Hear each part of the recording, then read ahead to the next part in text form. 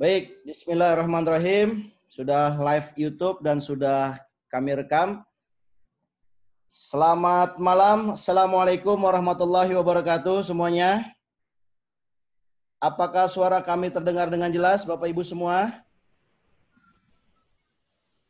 Halo?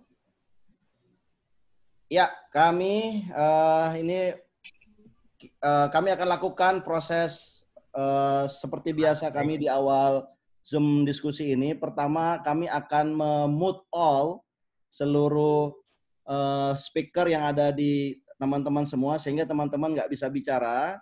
Sampai nanti saya akan uh, berikan kesempatan kepada narasumber, dan saya juga akan berikan kesempatan kepada penanya. Aturan mainnya adalah penanya silakan masuk ke dalam uh, apa istilahnya partisipan, ada kolom partisipan di situ, dan di pojok uh, kanan bawah itu ada raise hand ya. Teman-teman bisa raise hand untuk menunjukkan biar saya di sebagai host ini bisa tahu siapa yang ingin bertanya. Baik, saya akan mute all semua dan saya tidak uh, tidak izinkan eh, teman-teman uh, untuk melakukan unmute sendiri ya. Baik. Terima kasih uh, atas kedatangan teman-teman. Hari ini kita ketemu lagi seperti biasa dalam Zoom meeting jam 20.00. Ini adalah sesi yang kelima sejak kita mulai dari hari Minggu. Dan Alhamdulillah partisipan kita uh, terus bertambah. Terakhir rekor kita pernah mencapai 90 partisipan yang uh, aktif langsung di Zoom. Dan juga tentunya di uh, YouTube channel Narasi Institute juga uh, belum kita hitung tentunya ini adalah bagian Zoom meeting ini adalah bagian dari edukasi publik kita minimal terhadap diri kita sendiri agar kita mengetahui, mengidentifikasi, merecognize apa yang sedang terjadi di lingkungan dan sekitar kita sehingga minimal diri kita sendiri bisa mengambil keputusan yang tepat. Contoh misalkan keputusan apakah kita stay at home ataukah kita perlu keluar rumah. Nah, ini tentunya keputusan-keputusan ini diambil dari informasi yang kita dapatkan setidaknya ya dari uh, Zoom meeting ini. Yang kedua, kami ingin sampaikan terima kasih kepada narasumber kita pada hari ini. Kita alhamdulillah bisa berdiskusi dengan para dokter dan sesi kita hari ini adalah tentang uh, update bersama para dokter atasi virus uh, atasi corona. Bersama kita di tengah-tengah kita sudah ada uh, dua dokter. Nanti saya akan bacakan kurikulum CV, CV kurikulum vitae-nya yang lengkap. Dua dokter ini adalah uh, Dokter Eka dan Dokter Ahmad Zaki. Saya ingin menyapa dulu. Selamat malam dok. Assalamualaikum warahmatullahi wabarakatuh. Dokter Zaki, silakan dok. Saya tadi unmute dan Dokter Eka juga udah saya unmute. Ya, Assalamualaikum warahmatullahi wabarakatuh. Selamat malam untuk semua. Selamat ya, malam. Assalamualaikum warahmatullahi wabarakatuh. Saya Dr. Eka. Selamat malam. Salam sejahtera untuk kita semua. Alhamdulillah sudah hadir tengah-tengah kita. Dan saya juga ingin menyapa uh, senior saya, mentor saya. Pertama adalah Bapak Dr. Fadil Hasan. Selamat malam Pak Fadil. Sehat Pak Fadil?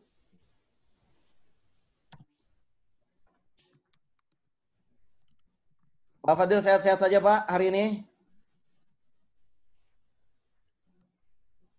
Saya udah unmute nih Pak. Mungkin dia belum respon kali ya. Sehat, sehat. Alhamdulillah. Juga sudah. Ya, senior-senior saya yang lain juga. Di antaranya ada Bang Ramli Kamidin, ada eh, teman-teman uh, juga dari media saya lihat. Uh, biasanya teman-teman media ini mohon izin uh, Pak Dokter, Pak Dokter Zaki dan Dokter Eka biasanya mereka juga mengutip ya uh, conversation yang ada di tengah-tengah kita. Jadi ini mohon izin juga selain direkam dan live YouTube uh, bisa jadi apabila teman-teman media kita ini menemukan informasi yang baik akan mengutip uh, lebih lanjut dari uh, seminar online kita pada sore hari ini. Jam 8 masih sore ya, Dok ya. Uh, yang kedua, uh, kami juga ingin sampaikan bela sungkawa yang sedalam-dalamnya. Ini saya dapat uh, informasi dari sosial media ada staf uh, salah satu staf ahli sekretaris Universitas Indonesia ya uh, yang meninggal dunia. Kalau informasi yang kami dapatkan beliau karena uh, sakit uh, kanker ya yang sudah lama beliau terima. Tapi saya nggak tahu detailnya dan yang sebenarnya seperti apa. Tapi ini sebuah berita yang sangat uh, mendalam, duka mendalam buat keluarga besar uh, Alma Mater Universitas Indonesia yang kebetulan saya adalah alumni sana dan pembicara kami juga ini adalah dua-duanya adalah alumni Fakultas Kedokteran Universitas Indonesia. Baik, saya ingin berikan kesempatan kepada Dr. Eka Ginanjar. Beliau lengkapnya adalah ini banyak sekali nih uh, Dr. Eka nih uh, gelarnya nih dok. Doktor Dr. Eka Ginanjar SPPD KKV Finansim FACP Vica dan Mars. Ini ke berapa lama itu dok kuliahnya dok? Banyak sekali dok itu dok gelarnya dok luar biasa. Dan saya yakin beliau adalah orang yang tepat dan kompeten uh, ketika uh, kita berikan tema kepada beliau adalah mengenai uh, update kondisi lapangan penanganan COVID-19 dari sisi kesehatan. Mungkin nanti Dokter Eka juga cerita karena beliau adalah juga dokter di RSCM dan uh, FKUI. Mungkin dokter bisa cerita juga bagaimana kondisi real di lapangan ya. Beliau adalah alumni Universitas Indonesia. Uh, beliau uh, angkatan berapa ya dok ya? Dokter Eka? Ah, masuk 96. Masuk 96. Dan beliau 96, masuknya 96. Masuk 96. Beliau pengajar di Fakultas Kedokteran ya. Indonesia uh, sahabat kami, beliau juga aktivis kampus ketika mahasiswanya pernah bekerja di Kardiologi Fellow di Institut Jantung Negara UIJN. Kemudian uh, beliau juga uh, SMA-nya di Negeri 38 dan 39. IPD. 39, mohon izin ya. 39 Jakarta, staf IPD FKUE RSCM. Uh, Dokter Eka, kami ya. berikan kesempatan uh, maksimal 20 menit atau 25 menit kepada dokter untuk uh, bercerita ya dok, kira-kira bagaimana kondisi lapangan di rumah sakit RSCM ataupun informasi yang dokter ketahui dan juga bagaimana sebetulnya keluhan ya dok para tenaga medis kita ini terhadap penanganan kasus COVID tentunya juga kan pasti ya selain civil society yang membantu pasti juga kan negara juga memberikan dukungan. Bagaimana dukungan negara yang eh, teman-teman uh, tenaga medis dan dokter sendiri rasakan? Saya persilakan dok.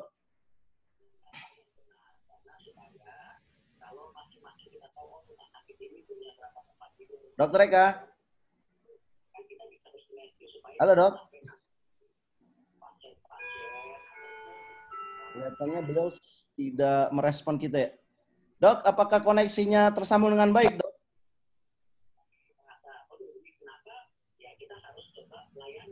Ini ada Anut mungkin beliau lagi punya hajat. Oke. Okay. Oke, oke. Okay.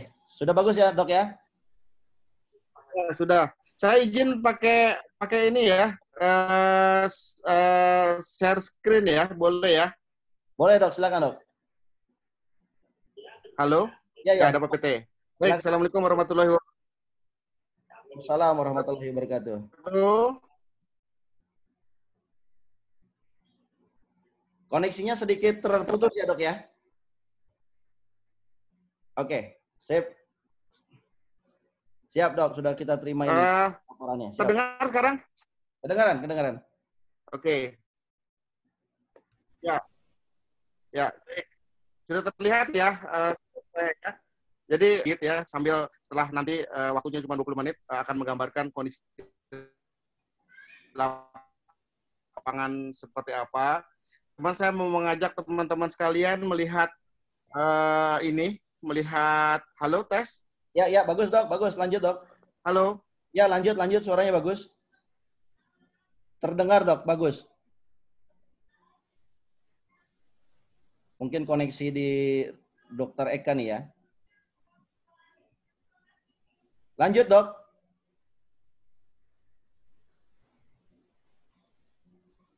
Halo dok.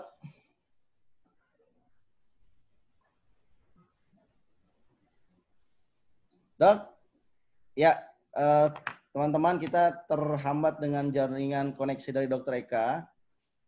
Eh, ini kita sebelum Dokter Eka lanjut, saya ingin memberikan eh, memberikan video ya yang menurut saya keren yang saya peroleh dari sosial media. Ya mungkin kita coba stop sharing dulu beliau.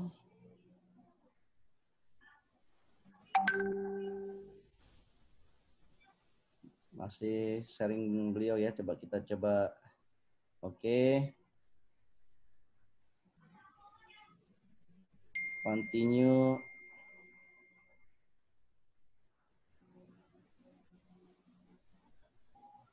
Mana dia video yang mau saya sampaikan? Lagi bekerja. Kalau gitu saya pakai video yang kemarin. Mana dia?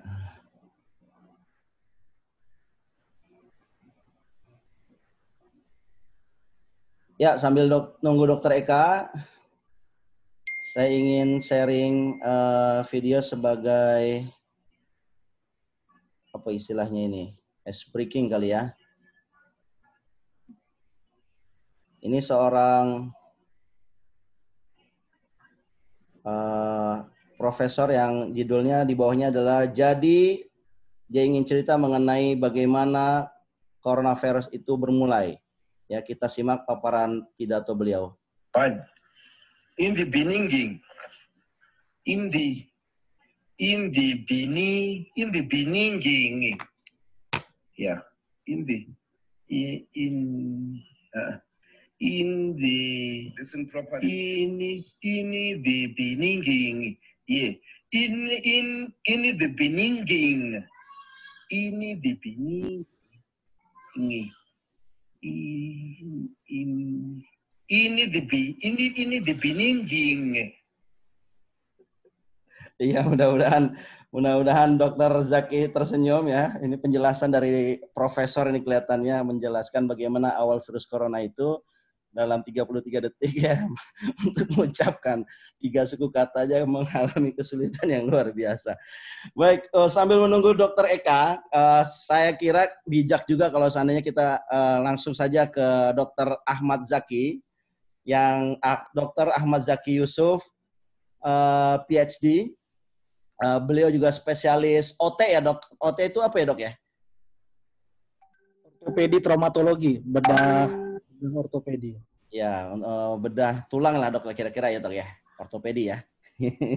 Kemudian beliau juga uh, alumni Fakultas Kedokteran Universitas Indonesia dan selain juga uh, berprofesi menjadi dokter, beliau juga pengajar ya dok ya di Universitas Islam Negeri uh, Syarif Hidayatullah Jakarta. Betul ya, uh, Dokter Zaki ya? Baik, ya, beliau. Gimana dok? Suaranya terputus dok? Di Fakultas Kedokteran UIN Jakarta ya. Iya, Fakultas Kedokteran UIN Jakarta. Ini uh, beliau saya bacakan uh, gelar lengkapnya Doktor Dokter Ahmad Zaki M. Epid SPOT. Uh, spesialis beliau adalah clinical epidemiologis dan orthopedic surgeon, pengajar FKUI, FKUIN Jakarta, SMA 8, FKUI juga di FKMUI, ya Fakultas Kesehatan Masyarakat, dan juga eh, sebagai fellowship di Kanto Rosai Hospital di Yokohama, Jepang. Baik, uh, ini ada yang mengatakan di chatting ini cuma dubbing doang bang, bukan suara asli. Oke, okay. uh, itu video tadi. Baik, saya itu untuk ice breaking aja uh, dari Mas Bagus.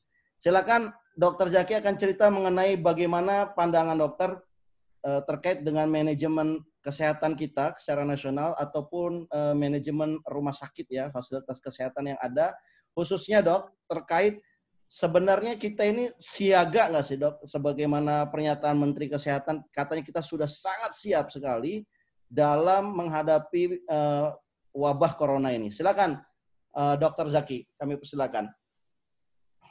Ya, eh, terima kasih eh, Pak Maknur kesempatannya. Eh, Assalamualaikum warahmatullahi wabarakatuh. Selamat malam semua. Pertama-tama mungkin untuk disclosure saya ingin menempatkan eh, posisi saya sebagai eh, epidemiologis ya dan juga sebagai eh, dokter bedah yang sedikit banyak juga berinteraksi dengan eh, pasien-pasien yang mungkin saja pasien-pasien tersebut adalah ODP atau PDP. Jadi mohon saya tidak menempatkan eh, diri sebagai bagian dari pengambil kebijakan begitu.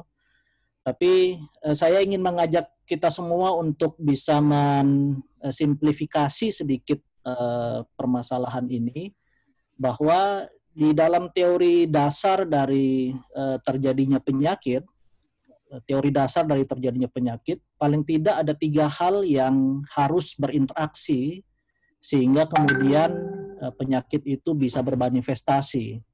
Yang pertama adalah agent atau agent itu bisa berupa virus, bisa berupa bakteri, bisa berupa parasit ya atau hal yang lain yang ini menjadi uh, salah satu penyebab timbulnya penyakit ya kita sebut sebagai agent. Yang kedua adalah host atau diri kita ya inang atau host dalam arti ini adalah manusia itu sendiri. Dan yang kemudian yang ketiga adalah environment. Nah, bila ada interaksi antara agent, host dan environment, maka barulah kemudian penyakit itu bisa bermanifestasi. Hmm.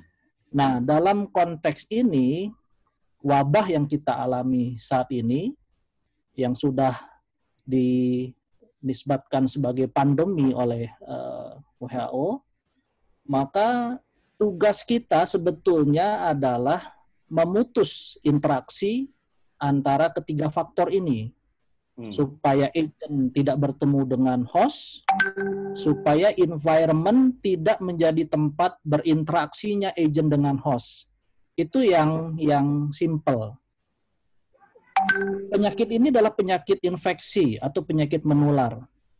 Maka bila kita ingin memutus rantai penularan penyakit infeksi ini, sebagaimana halnya dengan penyakit-penyakit infeksi lain yang sudah lama menjadi wabah di Indonesia, seperti kita ketahui TBC saja kita masih peringkat nomor dua di dunia ya eh, berganti ya. dengan India. Ya. Tugas utama kita adalah memutus rantai penularannya sehingga sedikit mungkin host atau orang yang tertular. Itu yang pertama. Yang kedua, orang yang sudah tertular atau orang yang sudah mengidap penyakit, kita ketahui secara dini, early detection penyakitnya dan kemudian ditangani penyakitnya sehingga bisa sembuh.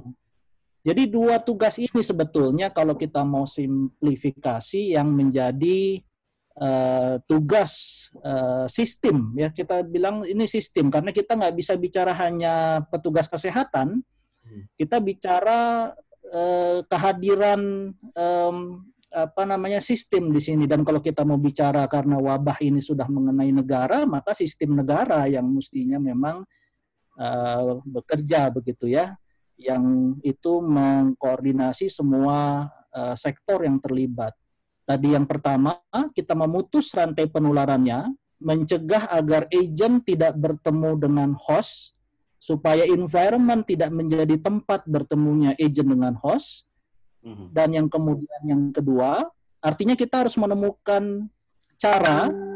Saya terus terang sudah agak lelah nih kita bicara soal eh, karantina, lockdown, eh, terakhir PSBB ya. Ini seolah-olah kita bertempur soal nomenklatur dan istilah-istilah begitu ya. Sementara Prinsip kita ingin agar agent tidak bertemu dengan host dan environment tidak menjadi tempat bertemunya eh, agent dengan host. Apabila itu tidak bisa dilakukan dengan sukarela, maka sewajarnya itu dilakukan dengan enforcement, dengan apakah itu kemudian law enforcement, ya. Pokoknya kemudian kita mengkondisikan sedemikian rupa sehingga agent tidak bertemu dengan host dan kemudian rantai penularan itu bisa kita putus. Dan mereka yang memang sudah terkena agent, sudah mengidap agent, dapat kita temukan segera dengan mekanisme diagnostik yang eh, optimal begitu dan tentunya nanti ini turunan-turunannya kita kita bicara lagi tentang eh, rapid test, tentang PCR, ketersediaan swab, ketersediaan viral transport medium, ketersediaan laboratorium-laboratorium yang mampu melaksanakan pemeriksaan eh, PCR dan sebagainya. Dan kemudian kita bisa atasi penyakit yang sudah diderita itu dengan baik. Kita bicara lagi soal ketersediaan tempat tidur misalnya, yang menurut data World Bank itu ketersediaan tempat tidur kita itu 1,2 per seribu atau 12 per 10 ribu. Jadi kalau misalkan eh, kita melihat daya tampung rumah sakit saja, kalau kita lihat sekarang memang sudah tidak mampu itu menampung jumlah yang sakit. Apalagi kemudian kita diminta untuk ini nih bicaranya sudah di sektor medis begitu ya karena karena sesungguhnya garda terdepan itu nih bukan tenaga medis, garda terdepan itu adalah upaya mencegah bertemunya agent dengan host. Hmm. Ketika agent dengan host sudah bertemu, ya itu akhirnya nanti ketariknya baru ke eh, tim medis, petugas medis begitu. Jadi kita ini kan ingin agar bisa meminimalisasi orang yang kemudian terdiagnosa sakit begitu ya, supaya eh, apa namanya eh, tidak overload beban di eh, rumah sakit-rumah sakit atau fasilitas pelayanan kesehatan. Karena terus terang kalau ini kita tidak bisa putus rantai penularannya, tidak akan mampu kita untuk menampung orang-orang yang sakit, apalagi mereka kemudian yang critically ill, mereka yang sakitnya sudah dalam fase kritis bayangkan di New York saja yang fasilitas pelayanan kesehatannya itu eh, harus kita akui pasti lebih baik dibanding Indonesia. Pagi tadi kita lihat beritanya 700 orang eh, meninggal dunia. Dalam 700 satu hari. dalam satu hari bayangkan. Itu kan lebih daripada satu isi Boeing eh, 747 ya. Eh, 700 orang dalam satu hari di New York em, saya kira data mereka mungkin lebih akurat dibanding kita, tapi oke lah kita tidak berdebat tentang data, tapi intinya kita tidak boleh membiarkan eh, fasilitas pelayanan kesehatan kita menerima beban yang begitu besar begitu. Artinya apa? Kita harus kuat di hulunya untuk mencegah agent bertemu dengan host.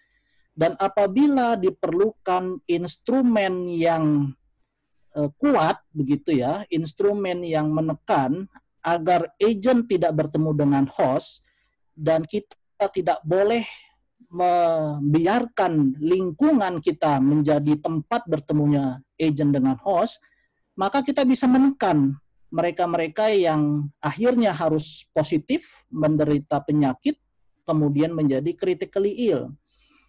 Dan jangan lupa kita sudah melihat banyak sekali teman-teman kita yang usianya masih dalam usia produktif itu ternyata juga tidak bisa bertahan begitu ya. Jadi kita saya kira jangan eh, terlalu eh, yakin begitu eh, walaupun tentunya kita terus harus berusaha untuk hidup sehat ya pola hidup sehat, menjaga hygiene dan sebagainya.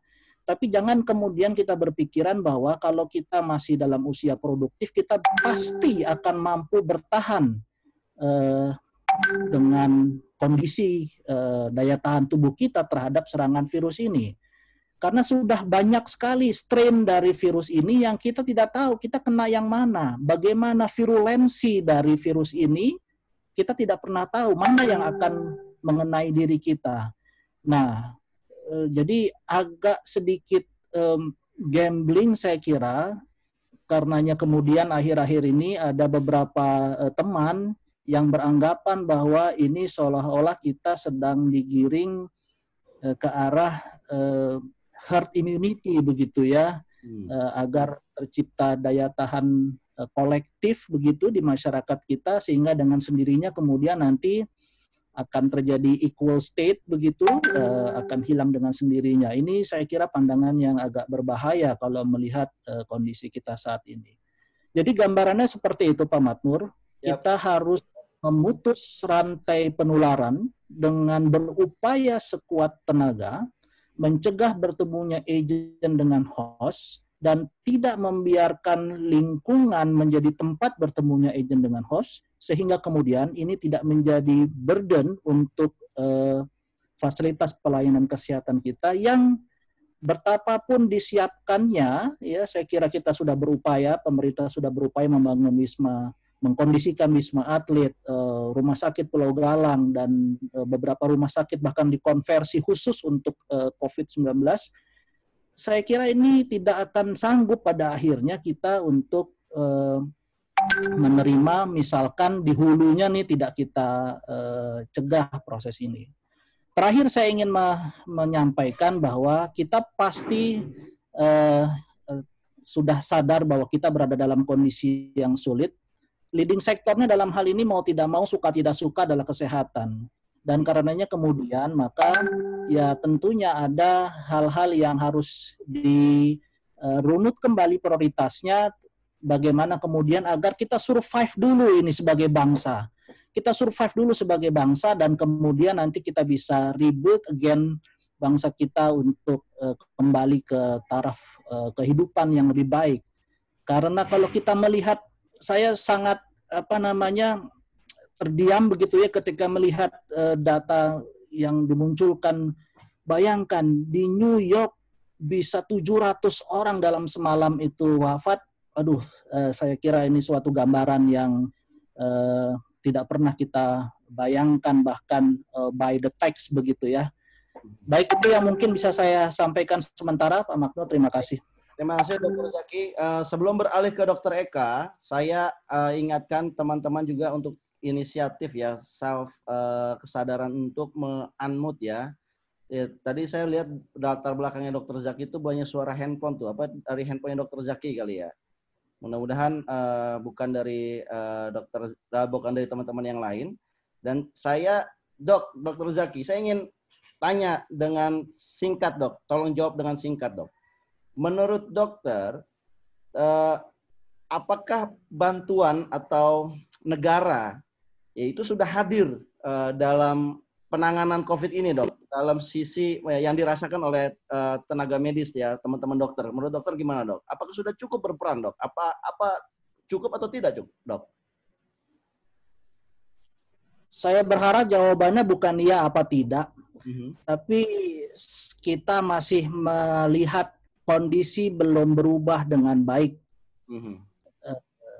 Nah, saya kira itu eh, bisa Belum ada diinterpretasi. perubahan yang cukup signifikan dari hari ke hari ya, dok ya. Kesannya masih agak lamban lah gitu ya, dok ya. Eh, yang jelas grafiknya terus bertambah. Mhm, mhm. Kita lihat kemudian grafik yang eh, sembuh eh, juga tidak mengikuti grafik pertambahan yang sakit. Ini menggambarkan bahwa eh, rantai penularan masih belum bisa kita kendalikan dan eh, kemampuan rumah sakit dibandingkan dengan beban yang terus mengalir masih belum berimbang untuk bisa menyembuhkan sebanyak mungkin pasien. Itu jawaban saya. Baik, terima kasih dok. Tadi yang paling saya ingat adalah bagaimana memutuskan rantai dari host ya, dari eh, tempat hidup virus ini dengan virus itu sendiri. Menurut saya itu ada poin yang sangat menarik sekali. Eh, saya juga ingin eh, bertanya. eh, sekarang kita masuk ke sesi eh, ke Dokter Eka ya. Tadi sempat terputus. Saya ingin menyapa dulu Dokter Eka. Dokter Eka, apakah suaranya sudah terdengar sekarang, dok? Suara saya? Ya, terdengar dengar jelas sekali. Mohon maaf tadi terputus, tiba-tiba hilang. Ya, ya, ya nggak apa-apa dok. Jadi dokter Eka tadi eh, kita sudah dengarkan dari Dokter Zaki eh, paparan beliau dan tadi poin yang sudah saya sampaikan beliau. Saya ingin tanya ke Dokter Eka ya dalam nanti penjelasan 20 menit ke depan. Dok, ini Ya. sebenarnya eh, tadi do- eh, Dokter Zaki cerita di Amerika sudah 700 dok. Kalau dokter sendiri ada nggak informasi dok yang bisa di-sharing? Ini kita kira-kira peak-nya itu kapan dok? Eh, yang kemudian apa sih yang terburuk dok yang dokter takutkan akan terjadi di masa depan? Silakan eh, dokter Eka Ginanjar. Ya, ini saya sekalian eh, presentasi ya. Ya ya silakan. silakan. Tadi saya saya juga eh, disclosure, saya bicara di sini sebagai eh, ahli penyakit dalam, spesialis penyakit dalam Baik. eh, yang berhadapan dengan pasien sehari-hari. Kebetulan saya juga di organisasi eh, Perhimpunan Dokter Spesialis Penyakit Dalam dan saya tetap mengajar di FKUI dan juga sebagai eh, apa mas, eh, magister administrasi rumah sakit. Jadi saya ngurusin rumah sakit juga. Eh, sedikit tadi menjawab apa yang eh, Matnur eh, sampaikan. Eh, ini data tadi eh, mohon maaf terputus ya. Ini data hari ini ya, data hari ini eh, kita lihat dulu dari yang tadi disampaikan oleh eh, Dr. Zaki. Kematian di eh, US ya, kemarin itu 700. Hari ini eh, 6. Tetapi kita lihat di Spanyol. Hari ini na- 589. Masya Hari ini 589. Bayangkan ratusan orang meninggal dengan eh, cepatnya dan selalu begitu. Habis habis habis positif banyak, habis itu eh, besoknya menurun tetapi sekali meninggal sekitar 589. Itu data pertama yang harus dilihat. Data kedua yang di, harus diperhatikan lihat di sini. Ini 10 besar di dunia, ya. Indonesia masih di bawah. Tapi yang paling penting harus diperhatikan di sini, saya menjawab eh, jawaban eh, apa pertanyaan dari Matnur tadi, yaitu lihat kasus pertama dimulai adalah pada bulan Januari. Hmm. US, Itali, eh, Spanyol, Cina, Jerman itu dimulai semua pada bulan Januari. Kita kasus pertama kita adalah Maret. Maret, awal Maret. Maret, ya kan? Ya, jadi artinya apa? Ini sudah duluan mulai Hmm. dan kita ada di belakang mereka kurang lebih satu bulan sampai satu bulan setengah dari eh, kondisi mereka. Artinya apa? Kita adalah eh, eh, apa satu bulan yang lalu dari US dan kondisinya satu bulan dari US seperti yang kita alami sekarang gitu. Trump bilang nggak ada apa-apa, ini juga apa penyakit virus sembuh sendiri dan segala macam. Jadi eh, gambaran ini perlu diperhatikan. Oke, nanti mungkin para ekonom bisa lihat di sini. Jerman kematian cuma 793 ya. Kalau dilihat dari eh, case fatality rate atau eh, apa kadar kematian kita gitu ya, eh, Italia paling tinggi, ini sekitar kurang lebih 9%. Tapi Indonesia hari ini itu sekitar eh, hampir 9%. Saya nggak terlalu bahas panjang ya. Ini eh, eh, data yang harus kita eh, perhatikan eh, bahwa kita satu bulan eh, lebih lambat daripada eh, mereka yang baru, yang sudah mulai dari Januari. Nah, ini yang disampaikan oleh Dr. Zaki. Tadi Dr. Zaki menyatakan eh, kita upayakan pertama adalah memisahkan host dengan agent. Agent ini adalah si coronavirusnya. Hostnya siapa? Hostnya adalah atau inangnya adalah si eh, manusia itu sendiri. Ya, beda dengan demam berdarah. Demam berdarah yang membawa kumannya adalah nyamuk. Jadi kita tinggal membatasi nyamuk, semprot sana, semprot sini, nyamuknya mati, si kuman atau si eh, sorry, si virus ini tidak bisa eh, pindah ke orang lain, men- menulari orang lain. Tetapi kalau penyakit ini, penyakit eh, COVID ini, virus ini, yang memindahkan itu adalah manusia, ya, dengan kontak. Jadi virusnya nggak ke mana-mana, dia tidak bisa hidup lama di udara bebas, di, di longgangan bebas, tetapi dia harus ada di orang yang sakit. Orang sakit ini yang membawa ke mana-mana. Dia pergi ke mana ketemu orang, dia batuk, habis eh, eh, apa drop dropletnya, droplet itu cipratan kalau kita bicara atau batuk itu eh, terbawa, terpegang dan orang yang kena itu akan eh, masuk ke mulutnya dan segala macam, terhirup, akhirnya tertular. ya. Jadi itulah proses penularannya. Artinya apa? Ini tabel uh, tolong diperhatikan ya. Ini adalah uh, yang merah ini menggambarkan uh, penularannya dibalik dibagi dengan uh, waktu ya. Banyaknya kasus dengan waktu dari pertama uh, ditemukan. Kita lihat kalau tidak ada intervensi sama sekali yang atau yang tadi dokter Zaki sampaikan yang namanya herd immunity atau imunitas uh, kolektif ya, imunitas yang didapatkan oleh uh, community yaitu kekebalan yang didapatkan secara alamiah oleh suatu komunitas itu artinya apa orang harus terinfeksi secara secara atau uh, seluruh populasi harus terinfeksi secara uh, mayoritas ya macam-macam virus itu mengalami itu apa mempunyai angkanya ya antara 60% sampai 90%. Taruhlah kita uh, virus ini 70%. Artinya apa? Untuk Indonesia dengan 270 juta populasi orang ya harus terinfeksi 70 persennya, yaitu sekitar 160-170 juta orang terinfeksi. Ya, walaupun nanti saya akan bahas di belakang dari yang terinfeksi itu yang ada gejala itu hanya 20%. Artinya apa? 80-85% itu tidak ada gejala. Cuman hmm. masalahnya di situ, uh, uh, Mas Matnur. Hmm. Kenapa? Orang tidak sakit, dia tapi ada kuman, ada virus di dalamnya, dan dia jalan-jalan ke mana-mana. Dia jalan-jalan ke mana-mana, dan dia menularkan orang dengan mudah.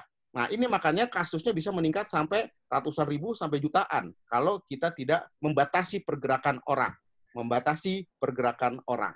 Nah, kenapa ini penting? Ketika yang sakit itu atau yang tertular itu banyak, taruh 170 juta, ya, yang bergejala itu hanya sekitar berapa? E, 20 persen. Jadi dari 160 eh, juta orang, 20 persennya berapa?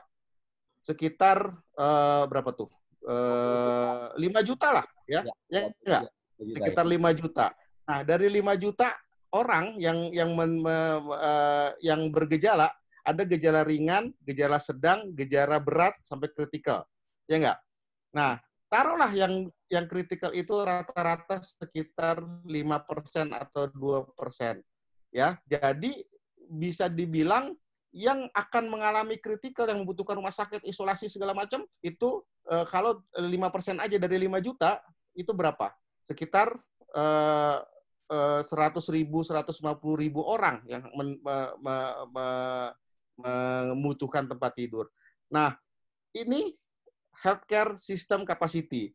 Kita lihat, kalau healthcare system capacity-nya di sini, ya, yang yang di atasnya ini ini tidak tertolong, tidak tertangani dengan baik. Artinya dia akan seperti kita dengar berita di Italia atau di US sekarang, dia sudah mem, udah mulai memilih orang. Ini orang dipasukin ventilator atau tidak, ini uh, ditolong atau tidak atau dibiarkan begitu saja. Karena apa? Dia tidak punya kapasitas apa kapasitas kesehatannya tidak cukup untuk bisa memenuhi itu. Nah, coba bayangkan ya, sekarang kondisinya Jakarta itu punya 180-an rumah sakit. Jakarta saja sudah kelimpungan. Sudah dengar kita berita di mana-mana eh, apa pasien COVID eh, apa di sini penuh, di sana penuh. Ya akhirnya rumah sakit swasta juga buka dan segala macam. Ya pada akhirnya ketika daya tampung itu tadi dokter Zaki sampaikan kurang bisa eh, memenuhi, maka akan banyak yang eh, tidak tertolong. Nah, kalau kita ada intervensi ini ditekan ya dengan membatasi gerakan, membatasi penyebaran, maka ini akan bentuknya seperti ini, yang hijau ini. Dan ini lebih bisa terpenuhi oleh healthcare system capacity.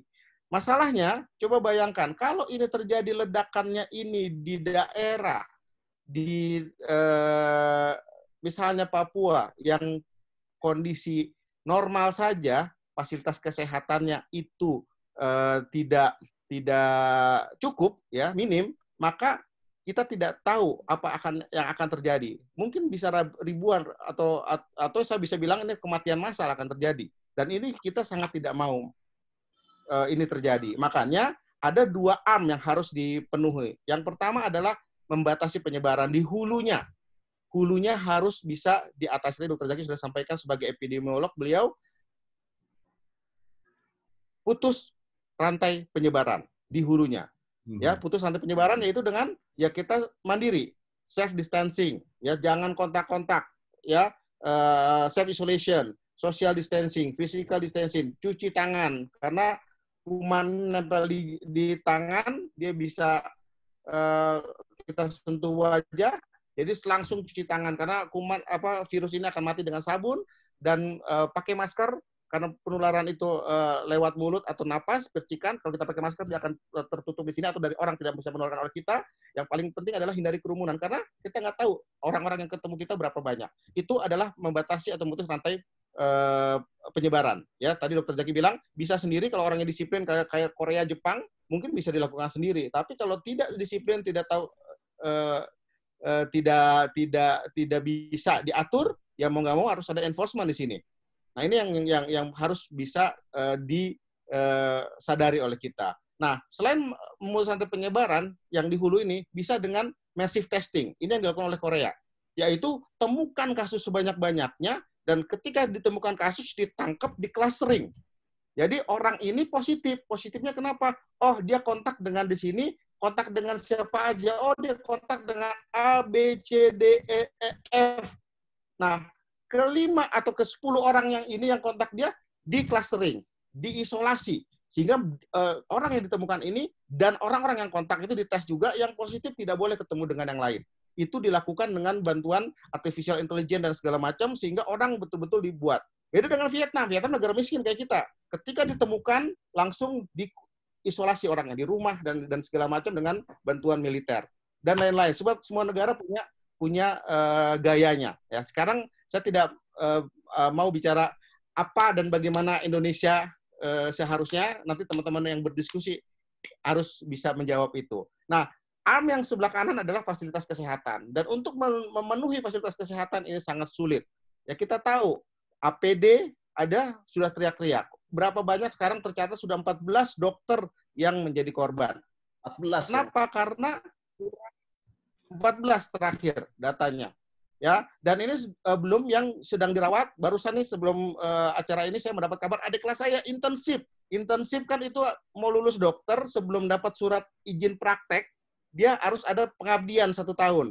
Ya, yes, pengabdian uh, bekerja uh, dalam supervisi di, di Sukabumi dan tertular positif sekarang lagi mencari rujukan ke Jakarta.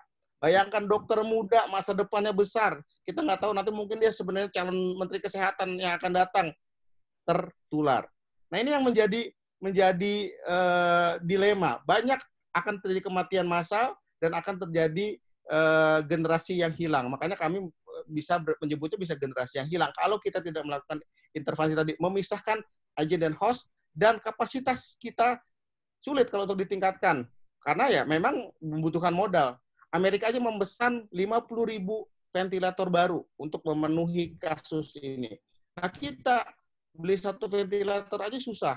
Nah ini yang menjadi uh, apa uh, concern kita. Sesedikit ini proses penyebaran ya tadi satu orang rata-rata menularkan ke dua ada yang penelitian lain 2, sekian uh, orang. Nah tadi ini saya sampaikan uh, pemirsa sekalian uh, Mas Matnur ya dari yang sakit tadi ya memang betul 80% atau 86% itu tidak bergejala. Hmm. Tidak ada gejala, tapi dia infeksius. Bayangkan kan, saya misalnya sudah kontak karena saya imunitasnya bagus, saya kuat, saya uh, tidak menimbulkan gejala, tapi saya jalan-jalan, saya ketemu orang tua saya yang punya komorbid, komorbid itu penyakit penyerta, saya cium tangan dan orang tua saya uh, tertular dari saya yang saya sayanya tidak apa-apa gitu. Itu udah banyak kisahnya sekarang. Gitu ya. Jadi ini yang menjadi bahaya. Dan dari 86% ini ya sekitar 11 tambah 12 eh, ini bergejala sampai ringan sampai berat. Nih ya, sekitar 12-15 persen. Sisanya memang kritikal. Jadi eh, sisanya sekitar kalau di sini nih secara dunia 0,3 sampai 36 persen. Ya, ini negara yang sudah uh, menjalani ya, data Indonesia nggak ada, tapi kita lihat ini satu dua tiga empat negara yang dianggap berhasil ya selain Cina karena Cina sudah karena sudah dari awal tapi sudah sudah berhasil menurunkan kurvanya. Kita lihat apa yang dilakukan ya. Ini lihat Korea testing program yang uh, masif ya dan lakukan isolasi secara ketat. Jadi bukan hanya testing saja, tapi setiap ditemukan kasusnya dilakukan isolasi yang ketat, dipantau. Dia mau menggunakan uh, teknologi. Lalu Jepang, Jepang memang dari awal orangnya disiplin. Begitu diperintahkan oleh pemerintahnya, orangnya disiplin. Tetapi dia juga melakukan uh, apa social distancing dan uh, menggunakan masker. Singapura juga seperti itu dan Hong Kong. Saya tidak mencatat uh, dengan jelas apa uh, menjelaskan dengan panjang lebar. Yang saya mau tampilkan sekarang data kita. Ini hari ini jam 4 sore tadi. Lihat, kasus terkonfirmasi 1677. Oke, okay? sembuh 103, meninggal 157. Saya nggak nggak nggak terlalu membahas data-data uh, ini, ya. Yang saya takutkan adalah lihat di sini, peta sini. Terlihat ya petanya ya? Hmm. Menyebar ya? Ya, suara saya ya. Oke. Okay. Menyebar ya, dok. Nah, lihat peta. Sudah 31 provinsi terkena. Tinggal Gorontalo, Nusa Tenggara Timur, dan uh, Jambi sini. Oh, sudah terkena sekarang terakhir. Uh, Bengkulu. Bengkulu sudah kena. Jadi tinggal dua, dua provinsi sekarang. Tinggal Gorontalo dan Nusa Tenggara Timur. Apakah benar tidak terinfeksi? Kita tidak tahu. Kenapa? Pertama, saya langsung masuk ke lapangan. Data terkonfirmasi itu 1677. Saya tanya ke uh, teman-teman uh, spesialis penyakit dalam di daerah. Benar nggak sih uh, apa data itu diperiksa apakah orang yang se sehat itu se apa uh, periksa dia positif atau tidak karena dia kontak seperti di Jakarta? Ternyata tidak. Yang dites itu adalah orang yang sudah sakit. Nah, orang yang sudah sakit dites. Artinya apa? Data sini tergantung kemampuan kita melakukan testing yang nggak tahu di, di di Papua, di Papua Barat seperti apa kemampuan testingnya. Ya, Jakarta orangnya sadar dan mudah untuk cari. Tapi kalau di daerah belum tahu. Jadi data segini mungkin saja bisa lebih besar. Ya, ada beberapa posting dari WHO dan segala macam mengatakan data di Indonesia mungkin lebih besar, mungkin lebih besar. Saya nggak bisa memastikan berapa kali lipatnya. Ya, ada ahli matematika yang menghitung segala macam. Silahkan, setidaknya tapi data ini di lapangan sulit karena hasil swab saja bisa berkurang uh, banyak ya apa uh, hasilnya sulit untuk didapatkan. Nah, yang menjadi perhatian saya kemarin nih, Anies Baswedan bilang 283 dimakamkan dengan protap COVID. Jakarta saja. Bayangkan, dari data ini kalau seandainya taruhlah 80% benar COVID, ya, artinya sekitar 200-an orang, 250 240 orang. Itu pun masih lebih tinggi dari data nasional meninggal. Jadi kita under diagnose. Jadi ini kalau saya lihat sudah bisa uh, saya sampaikan ini seperti melihat uh, sudah melihat gelombang tsunami dan itu sudah kelihatan di ujung. Hingga tunggu datangnya. Sekali lagi kita satu bulan lebih lambat mulainya karena dari Wuhan ya uh, uh, belum globalisasinya mungkin belum sampai ke kita atau nggak tahu sebenarnya kasus kita lebih awal kita nggak tahu. Yang mudah-mudahan prediksi saya ini salah dan uh, tidak terjadi. Uh, itu satu. Yang kedua dari sini lihat provinsi-provinsi sudah kena semua dan kita lihat aja dari hari ke hari nggak usah lihat data ini. Yang kita lihat adalah data provinsi mana yang kena dan bagaimana peningkatannya terutama dengan kasus meninggal. Ya tadi saya baca broadcast katanya di Sukabumi ada 200 kasus baru. Saya nggak tahu itu benar atau tidak di sekolah polisi. Nah ini ini kan belum masuk data-data tersebut, mm -hmm. ya. Baik, ini terakhir slide saya bisa dikatakan eh, ini data dari hari ini ya. Bisa diperhatikan ini Itali ini Indonesia. Lihat ya nggak usah lihat kasus banyaknya di Italia tadi sudah sampaikan. Kita lihat aktif case dengan uh, close case. Aktif case artinya apa? Pasien yang dengan gejala dan critical ya. Jadi yang masih yang positif tapi yang gejalanya ringan dan gejalanya uh, serius ya. Close case adalah yang recovered dengan yang uh, meninggal. Jadi ya selesai, sembuh atau mati, ya kan? Lihat, kalau di Italia seperti ini. Oke, kenapa muncul kuning-kuning ya? Ya, Italia seperti ini, kita lihat 95% kondisinya ringan. Tadi data nasional apa uh, internasional adalah 82 persen. Ya, ini Italia 95 persen. Artinya 5 persen dalam critical ill. Critical apa? Butuh ICU, butuh ventilator. Lihat, 4.000 pasien butuh ventilator. Sekarang hmm. berapa jumlah ventilator di Indonesia kalau itu terjadi? Itu itu pertanyaannya. Nah, sekarang lucu lihat data ini. Ya, teman-teman sekalian bisa lihat. Active case di Indonesia kondisi ringan 100%. Critical ill 0%. Ada dua apa kemungkinannya. Apakah datanya memang tidak dilaporkan atau orang sakit ringan langsung mati. Jadi nggak sempat sampai serius atau critical ill. Ya saya nggak tahu atau mungkin dua-duanya saya nggak tahu. Ya. Lalu close case ya yang mati lebih banyak yang mati daripada yang sembuh. 60% dengan 40%. Kalau yang ini 44% dengan 56%. Ma- Maaf saya nggak tahu nih kenapa muncul warna-warna kuning seperti ini. Mhm. Oke, saya rasa demikian dari saya. Jadi eh, eh, teman-teman sejawat sekalian ini memicu diskusi saja. Kondisi di lapangan saat ini eh, kapasitas health system kita di Jakarta ini aja sudah kelabakan. Ya, kita sudah berusaha untuk membuat wisma atlet langsung penuh, membuat eh, beberapa isolasi, langsung eh, ruangan kapasitasnya tidak tertampung, ya, dan kita masih melihat kasus baru terus ada dan kasus-kasus yang keburu meninggal belum dicek juga ada di lapangan dan yang menyedihkan adalah eh, tenaga medis banyak yang terkena. Kenapa? Karena ketidaksiapan untuk bisa memeriksa pasien, me- me- me- melaksanakan eh, mengecek dan me- memeriksa pasien tanpa APD yang lengkap karena kebutuhan APD ini sangat kurang. Nah, eh, kalau ini dibiarkan, maka saya tadi istilahkan tsunami dan tsunami ini sudah di depan mata dan yang bisa kita lakukan tadi dokter Zaki bilang betul selamatkan eh, daerah. Karena kalau Jakarta sudah tidak bisa diselamatkan. Tapi selamatkan Jakarta yaitu dengan jangan sampai orang Jakarta yang sudah jadi epicentrum keluar pulang kampung ke Papua. Papua ada dua kasus pertama itu adalah klaster dari Bogor. Yang ikut seminar eh, ekonomi di Bogor dia pulang ke Papua.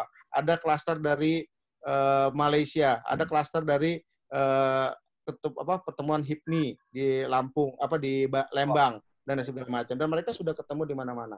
Bayangkan menular, menular, menular, yang menularkan usia yang 20 sampai 40 tahun, sehat ke mana-mana, tidak merasa sakit, tetapi eh, apa eh, orang-orang yang punya komorbid, yang punya eh, faktor resiko bisa bisa mati.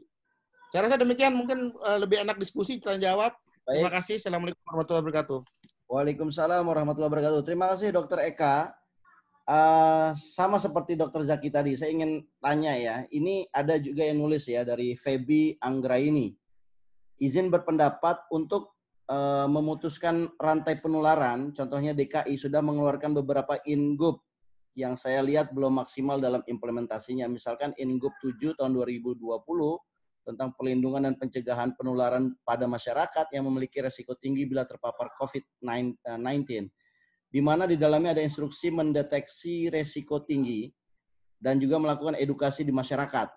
Inkop ini ditandatangani tanggal 26 Maret 2020, tapi sampai hari ini di wilayah saya, berarti dia di Jakarta, belum berjalan.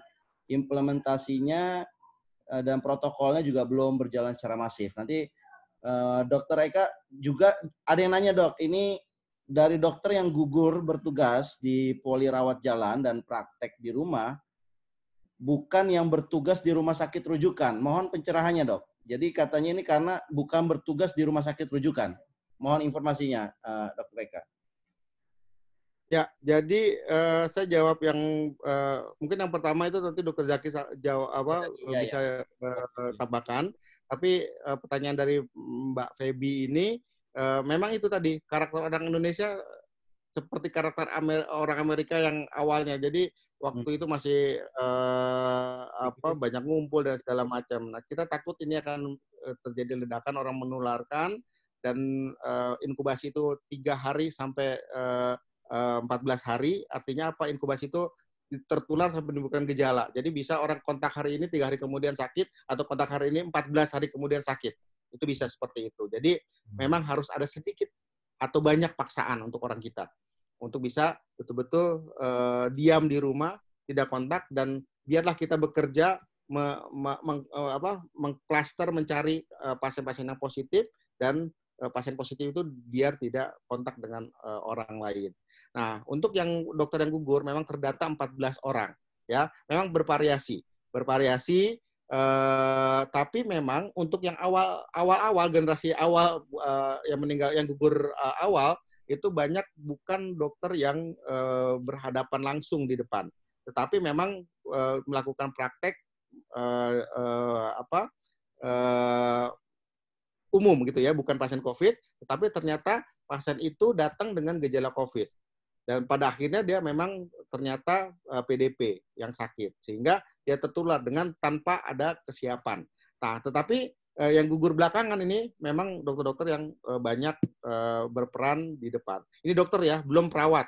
Hmm. Perawat eh, ada juga yang memang gugur eh, memang tertular.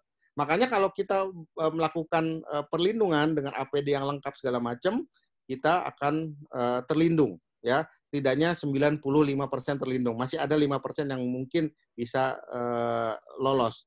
Sehingga eh, tadi kalau pertanyaan apakah memang guru dalam tugas dan segala macam, bisa dikatakan memang orang pasien atau dokter tersebut dalam eh, pengabdian memeriksa eh, pasien secara umum ya. Dan ke sini yang tadi saya ceritakan pasien apa dokter intensif di Sukabumi itu memang betul-betul memeriksa pasien COVID dengan eh, apa eh, perlengkapan yang kurang memenuhi standar dengan jas hujan dan eh, hanya masker bedah gitu. Hmm. Baik, baik. Terima kasih Dokter Eka. Saya ingin berikan kesempatan buat audiens, partisipan yang sudah berkumpul di, di Zoom ini. Ini terdata di tempat kami ada 86 dan di YouTube ini ada 25 ya watching. Jadi ini kita udah hampir 100 orang menyaksikan uh, live streaming dan juga diskusi Zoom ini. Ada tiga orang yang sudah raise hand mengajukan tangan ya. Pertama Rosal Korni, yang kedua Bagus Rendra, yang ketiga Ruswandi ya. Saya akan berikan kesempatan ketiganya secara berurut-urut. Tapi sebelum bertiga nanya, saya beri kesempatan buat Dr. Fadil Hasan ya, ekonom senior dan pendiri Indef untuk uh, memberikan uh, input ya. Silakan Pak Fadil. Terima kasih Pak Hidayat. Ya.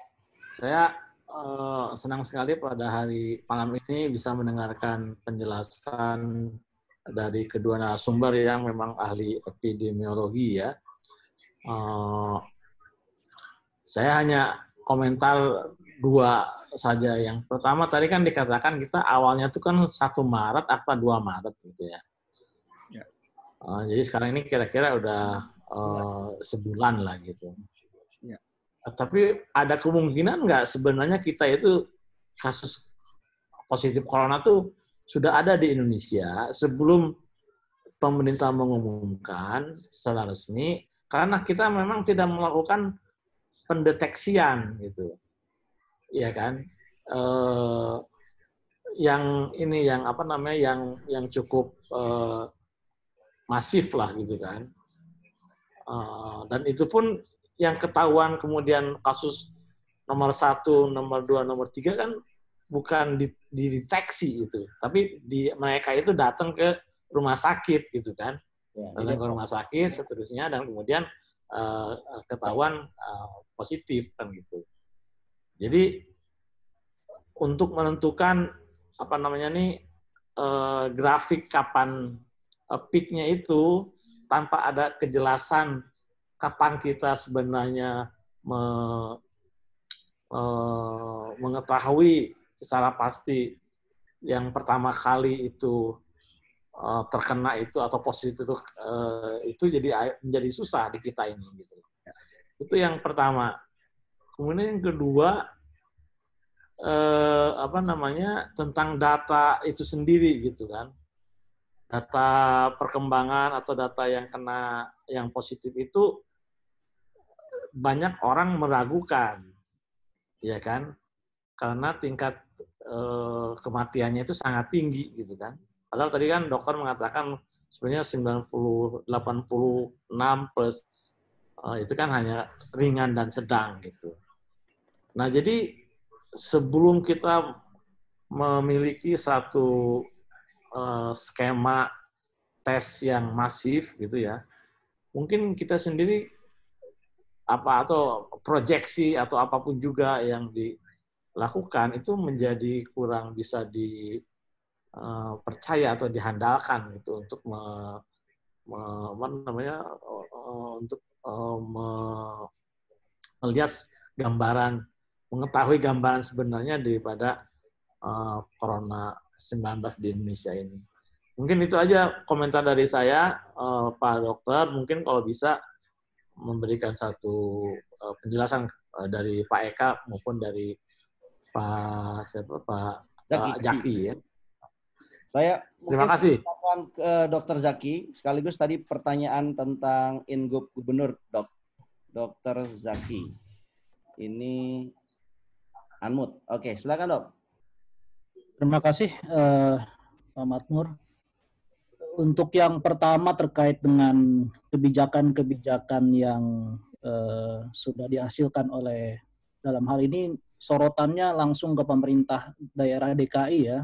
Mhm. Saya kira eh, apa pun itu suatu kebijakan kalau tidak diikuti dengan eh, apa ya daya dorong atau eh, daya paksa agar mereka yang dimaksud dalam kebijakan itu bisa mengikuti maka kebijakan itu bisa jadi tidak terlaksana dengan baik begitu.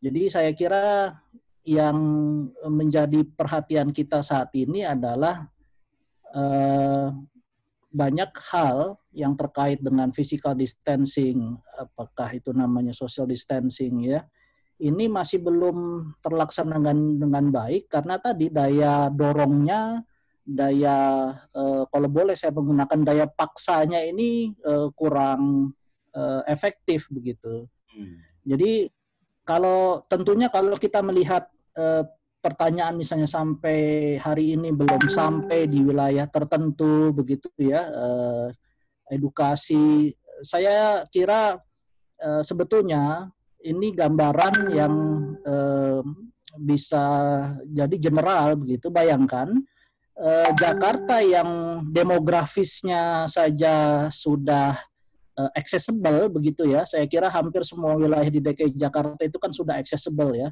Dan kemudian sudah tersedia eh, fasilitas pelayanan kesehatan primer dalam hal ini puskesmas yang sebetulnya menjadi ujung tombak dalam promosi dan edukasi kesehatan masyarakat eh, tersedia dengan baik. Masih ada bagian dari masyarakat yang belum sampai begitu eh, message-nya atau eh, pesannya tentang hal ini ini tentunya bisa menjadi tolak ukur bagaimana ini kemudian di wilayah-wilayah lain yang infrastruktur eh, fasilitas pelayanan kesehatannya eh, tidak lebih baik dari Jakarta begitu. Jadi ini ini gambaran eh, gambaran yang eh, bisa kita ilustrasikan bersama kalau melihat eh, konteks saat ini di Jakarta begitu ya.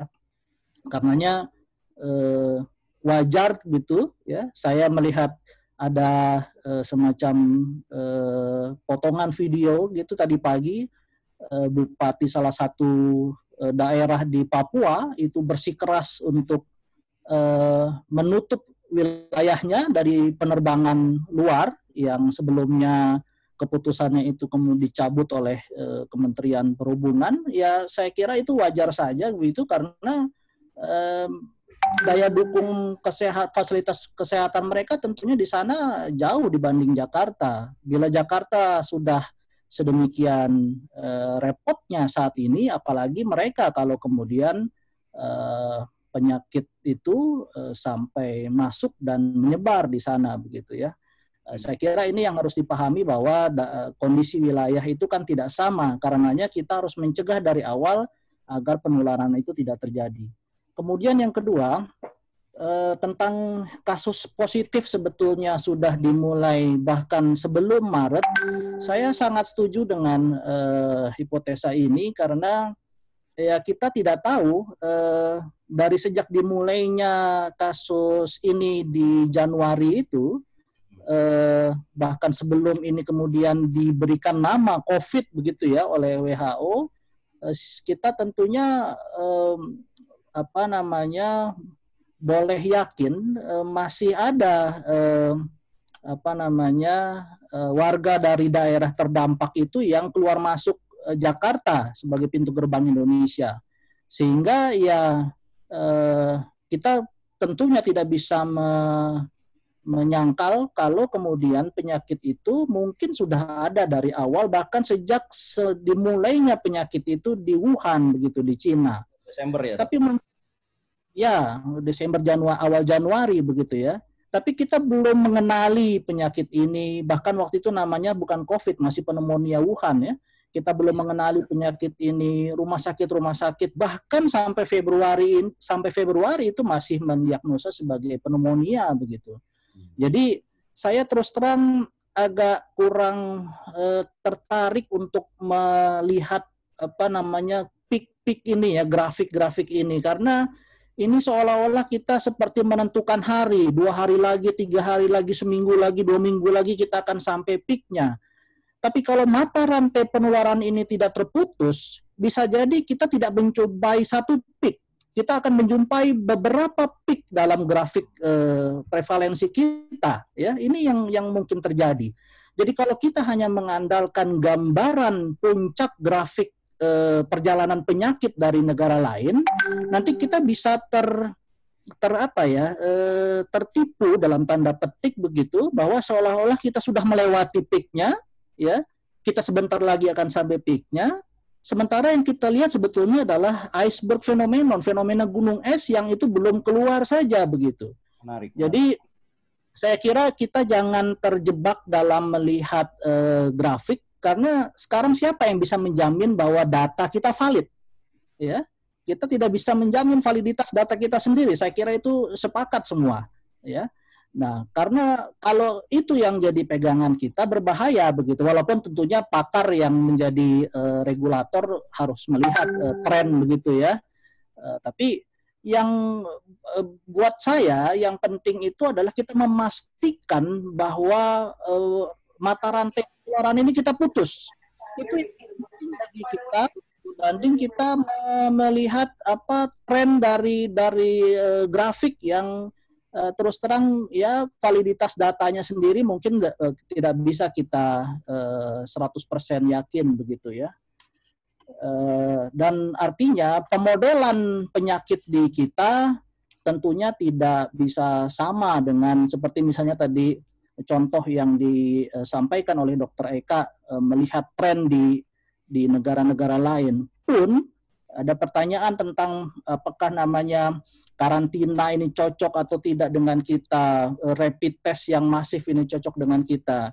Kita tentunya tidak bisa mengambil eh, serta-merta satu contoh saja dari satu negara. Kita tentunya harus melihat dengan daya dukung kita, mengkombinasikan semua itu, begitu ya, dan mengambil mana yang paling minimal membuat eh, korban di apa namanya masyarakat, begitu ya. Jadi eh, apabila diperlukan kemudian eh, harga yang paling murah, ya, saya harus eh, menyampaikan bahwa eh, regen-regen, kemudian nih sekarang kita mau coba menggunakan rapid PCR gitu ya, itu kan semua eh, costly begitu ya. Yang paling murah sebetulnya untuk kita itu adalah memutus mata rantai penularan. Ya, walaupun tentunya hitungannya tidak murah, tapi buat buat apa namanya hitungan eh, apa namanya korban, hitungan resources itu yang paling mudah adalah memutus rantai penularan. Dan apabila itu artinya diperlukan karantina ya dengan uh, law enforcement, maka itu mungkin jalan yang terbaik buat kita ya.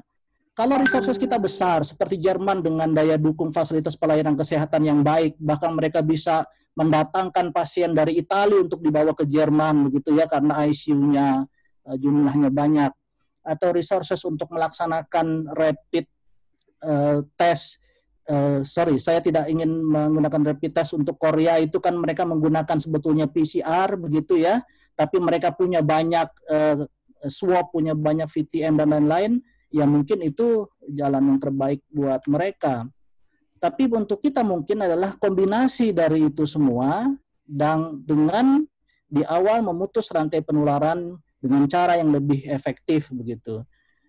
Kalau melihat gambaran yang sudah disampaikan Dr. Eka, sekarang hampir semua itu sudah wilayah merah. Yang kita ingin adalah agar ketika seseorang yang sudah terjangkit melewati uh, masa uh, sakitnya, dia tidak lagi tertular oleh orang lain, begitu ya, karena kita tidak bisa gambling apakah mereka sudah memiliki daya tahan setelah mereka terkena penyakit ini dan tidak menularkan kepada yang lain. Jadi saya kira masih diperlukan pembatasan-pembatasan pergerakan antar wilayah sehingga daerah yang tadinya mungkin akan berubah dari merah menjadi hijau kembali menjadi merah. Kita sudah mendengar kasus-kasus reinfeksi di beberapa uh, tempat di Cina misalnya. Jadi saya kira uh, gambarannya seperti itu. Untuk rapid test yang untuk mengecek antibodi uh, ini um, gugus tugas COVID sudah uh, mengeluarkan panduan ya.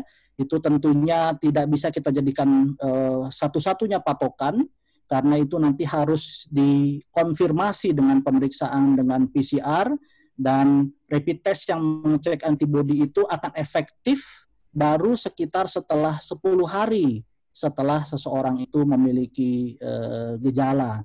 Jadi uh, kalau yang digunakan di Korea itu mereka uh, sebetulnya mengambil sampel dari uh, apa namanya penduduk untuk kemudian uh, dicek tetap menggunakan uh, PCR begitu ya. Hmm. Uh, saya kira itu untuk beberapa uh, pertanyaan awal. Terima kasih Pak Matnur. Iya.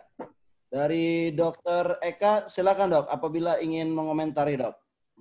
Saya tambahkan sedikit ya. Uh, pertama saya tambahkan boleh dokter Zaki tidak setuju dengan grafik-grafik negara lain, tapi tetap kita harus menjadi uh, melihat apa yang sudah uh, terjadi uh, dari negara lain dan kita harus belajar. Karena ya. ini sebenarnya kesempatan yang diberikan oleh Allah kepada kita. Kita dikasih kesempatan belakangan kasusnya. Cuman tadi betul uh, Bang Fadil sampaikan, uh, apakah ini apa pertanyaan besar? Apakah betul kasus kita itu uh, 2 Maret itu? Apakah sebenarnya se kasus sebelumnya sudah uh, ada sebelumnya. Nah ini saya tidak bisa menjawab uh, Bang Fadil karena uh, saat itu uh, para para pejabat kita pasti berkelakar bahwa ini uh, kita uh, uh, tidak kita kebal uh, dengan makan nasi kucing kita sembuh gitu ya. Uh, itu akan sembuh sendiri dan segala macam. Itu saat itu masih ada kelakar-kelakar seperti itu. Padahal kita lihat uh, uh, di apa uh, Cina di mana segala macam sudah kerepotan. Sehingga uh, mungkin merujuk bola, bo, apa uh, saya menonton apa yang uh, diskusi uh, Pak Gubernur Anies Baswedan dengan uh, Deddy Kobuzer di situ dia bilang kami sudah memantau pas kasus dari bulan Januari dan memang ada peningkatan uh, pasien pneumonia. Nah, hmm. ada peningkatan pasien pneumonia, angka peningkatan pasien pneumonia sejak Jan, uh, apa dari uh, Januari tersebut. Tapi kita tidak tahu apakah itu karena waktu itu banyak pertanyaan. Nah, itu itu aja yang yang mungkin saya tambahkan. Oh ya satu lagi. Tadi betul kata dokter Zaki bahwa uh, ini penyakit ini adalah penyakit yang memang novel novel apa ya istilah novel itu memang baru gitu loh. Kita semua masih masih belum tahu ini sifatnya berapa strain yang ada. Strain itu jenisnya. Karena kalau cuma satu kayak kalau cuma satu virus ini dan terbentuk antibodi, harusnya kita tidak tertular lagi. Tapi ternyata ada angka reinfeksi. Artinya apa? Dia sudah membentuk antibodi, tetapi dia terinfeksi dengan bentuk lain yang rupanya berbeda, padahal jenisnya sama. Jadi strain yang berbeda. Artinya apa? Dia bisa berbagai jenis strain. Jadi banyak pertanyaan-pertanyaan obat yang efektif siapa? Ada yang bilang hidrokloroquine, Avigan, uh, azitromisin dan lain segala macam itu semua masih pertanyaan besar. Karena ini virus yang baru. Jadi bisa bayangkan kita berhadapan dengan musuh, musuhnya nggak kelihatan, hmm Kita nggak ada yang bisa melihat virus dan kita tidak tahu senjata apa yang mempan untuk di situ. Yang kita tahu satu-satunya adalah penularannya melalui droplet dan hostnya adalah manusia. Jadi hmm. memang tepat sekali kata dokter Zaki, apa yang bisa kita lakukan yang termurah dan pasti bisa menghentikan virus ini adalah memutus rantai penyebaran. Nah, ya. caranya nanti kita serahkan para ahli gimana uh, secara sosiopolitik, secara ekonomi untuk bisa memutus rantai penyebaran karena collateral damage itu banyak dan impactnya secara sosial, politik dan ekonomi saya uh, ikuti beberapa diskusi sebelumnya Bang Matnur ekonomi bagaimana dan segala macam memang ada tetapi kalau banyak yang uh, berguguran generasi hilang orang sakit banyak, ya banyak keluarga hilang apa kehilangan keluarganya. Saya rasa eh, apa impact yang didapat akan jauh lebih besar dan secara otomatis ekonomi juga akan melambat dan kita juga akan menghadapi kondisi yang sama tapi terlambat. Nah ini yang perlu diperhatikan. Saya rasa demikian mungkin eh, ada pertanyaan dari yang lain. Ya, terima kasih uh, Dr. Eka. Saya persilakan kepada Mas Rosyal Korni. Ya, ini sudah raise hand. Silakan Mas Rosyal Korni. Suaranya terdengar dengan bagus nggak, Mas Rosyal? Silakan untuk bicara. Halo, Mas Roysal Korni, masih bersama kami kah? Saya sudah buka nih uh, komunikasinya. Silakan, Mas. Iya, belum ada respon. Yang kedua. Oh iya, Pak Maknur. Ah, Pak Fadil, silakan Pak. Ya, satu aja. Pak, ini Pak Dokter ya, saya juga ingin ya. tanya, ini jumlah yang dites pakai PCR per hari di Indonesia itu berapa sih Pak sekarang ini? Atau dalam waktu katakanlah satu bulan ini per hari yang ingin tahunya itu. Ada nggak datanya itu Pak? Ya. Tahu dokter lagi punya datanya nggak? Kalau saya sih tidak tidak tahu ya, tapi yang jelas sangat sangat minim, hmm. sangat sangat minim. Karena uh, yang saya tahu angka angka uh, di salah satu lab ya, saya nggak bisa menyebutkan labnya di sini, itu cuma bisa mengecek sekitar 180 sampai 200 maksimal uh, tes sehari satu lab. Tapi yang masuk ke mereka sampai 1000 lebih per hari. Artinya setiap hari dia uh, kekurangan atau harus ada antrian 800 dan setiap hari akan bertambah antrian tersebut. Nah, saya nggak tahu kalau seluruh Indonesia berapa, saya nggak punya datanya. Mungkin uh, harus di-search lagi. Dokter Jaki mungkin tahu? Ya, saya belum punya informasi mengenai berapa banyak sesungguhnya lab yang mampu melakukan pemeriksaan PCR ini ya, yang jadi uh, golden standard sekarang dengan sensitivitas dan spesifitas yang paling tinggi untuk uh, virus ini dan berapa masing-masing daya eh, atau kemampuan lab tersebut untuk memeriksa perharinya. Di pertanyaan menarik saya kira eh, yang bisa menjawab juru bicara COVID ini. juru bicara Tapi COVID. Ini, uh, Pak Fadi. apa namanya nggak pernah dibuka itu ya? Kalau di Korea kan saya, saya dengar katanya per hari itu bisa ngetes 15 ribu. 10 ribu. 10 ribu ya, minimal 10 ribu. Ya, oke terima kasih dok. Without komen lagi lah. Ya. Baik, terima kasih Pak. Ya. Uh, saya gimana? Dok, ya, saya izin. Gimana, pertanyaan dok? menarik. Ada pertanyaan menarik dari Mbak uh, Feby ya.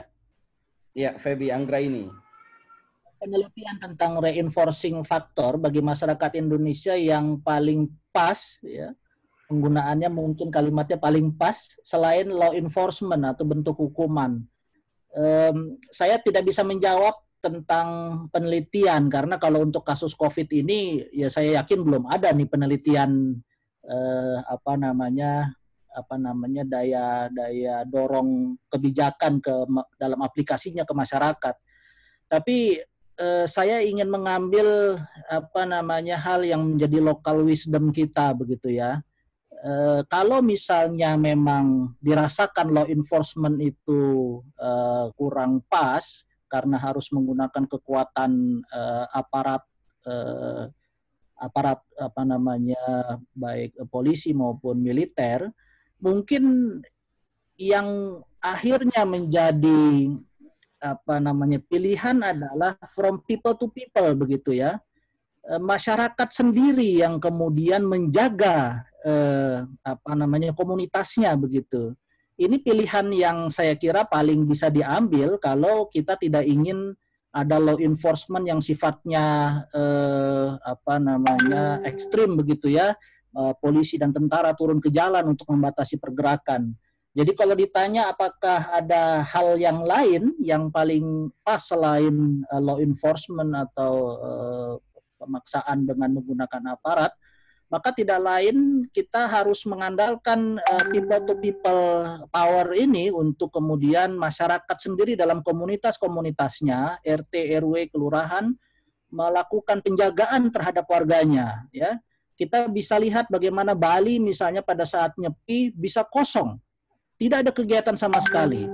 Yang berkeliaran adalah polisi-polisi adat ya yang itu sebetulnya juga dari masyarakat nah saya kira kalau kemudian kita bisa mendorong ini agar eh, apa namanya ada kekuatan dari masyarakat sendiri ya untuk menjaga masyarakatnya mungkin ini bisa lebih mungkin ini bisa efektif kalau kita tidak menginginkan adanya law enforcement dari uh, aparat baik itu polisi maupun militer.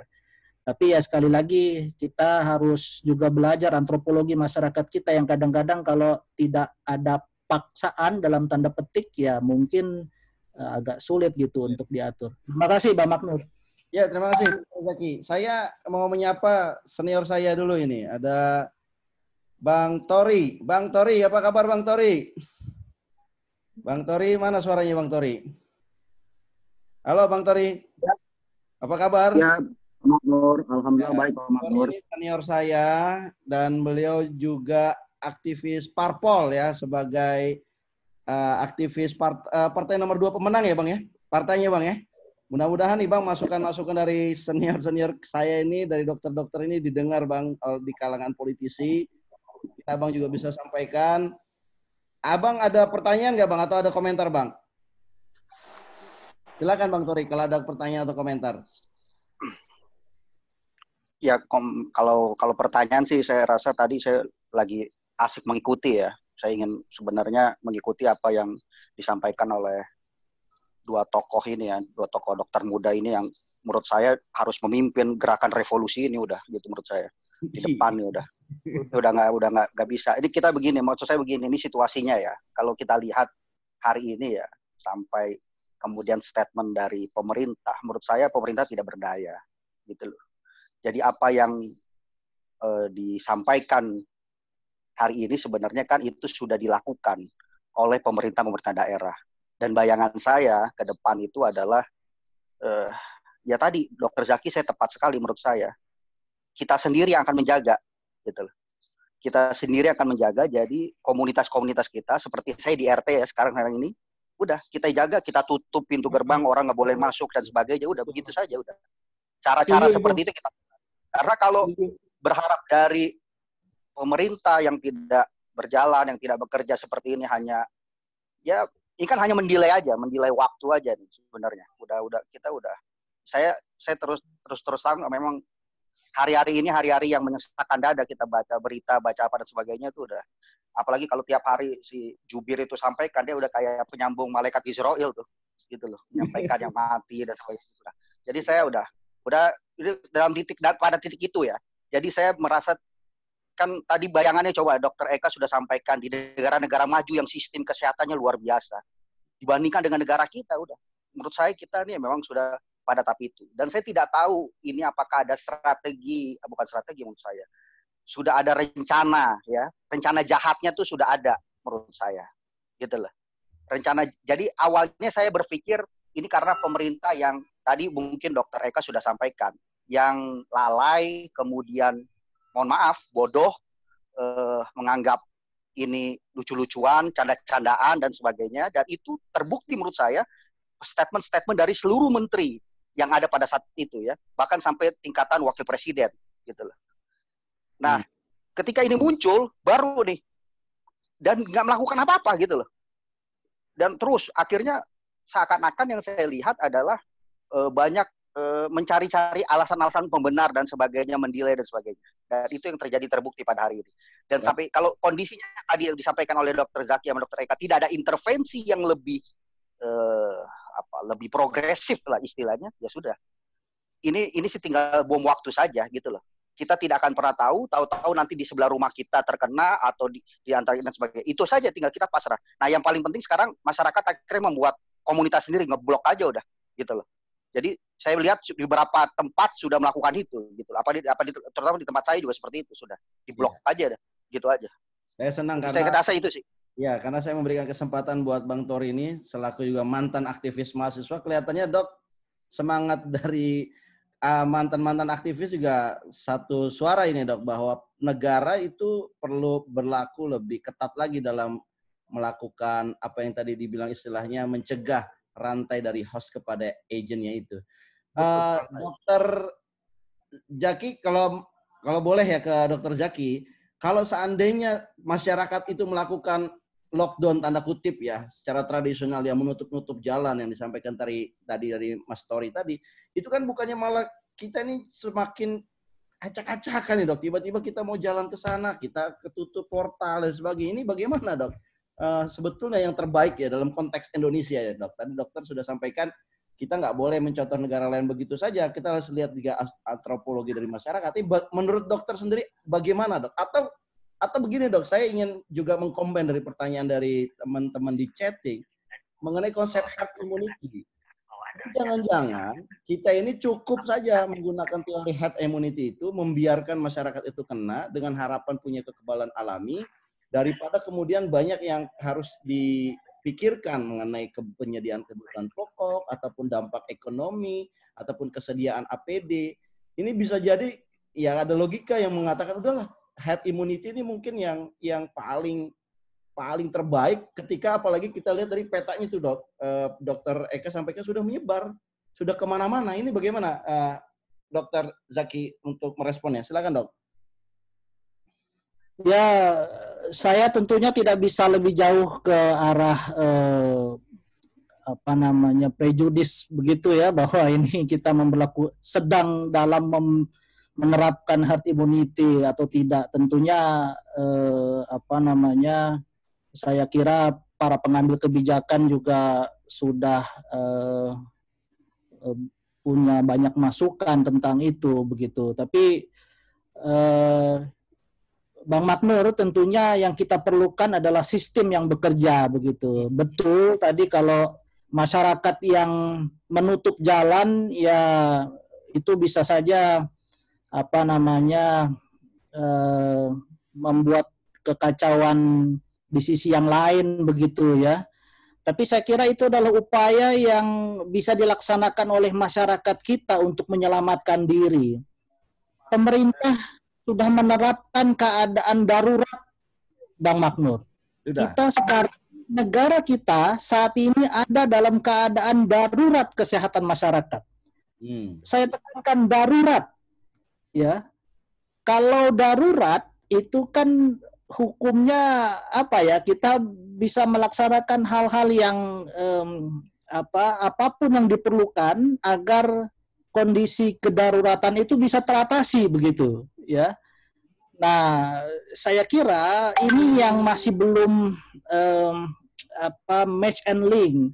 Kita hmm. sudah menerapkan keadaan darurat tapi eh, apa namanya sense of eh, krisisnya ini kita belum lihat eh, cukup baik begitu di di apa diupayakan begitu ya kalau kita dokter itu bekerja di uh, eh, IGD ya di gawat darurat itu kita hampir tidak bisa tidur satu malam itu ya kenapa karena kita selalu harus alert ketika ada pasien darurat sampai target kita adalah bahwa pasien itu harus selamat. Nah, langkah-langkah penyelamatan pasien itu sudah ada guidance-nya, ya, sudah ada apa namanya urut-urutannya. Nah, saya kira ketika pemerintah bersama stakeholder dulu membuat Undang-Undang Nomor 6 Tahun 2018 tentang kekarantinaan kesehatan, uh, itu pasti mensimulasi keadaan seperti ini ya dan ketika keadaan ini akhirnya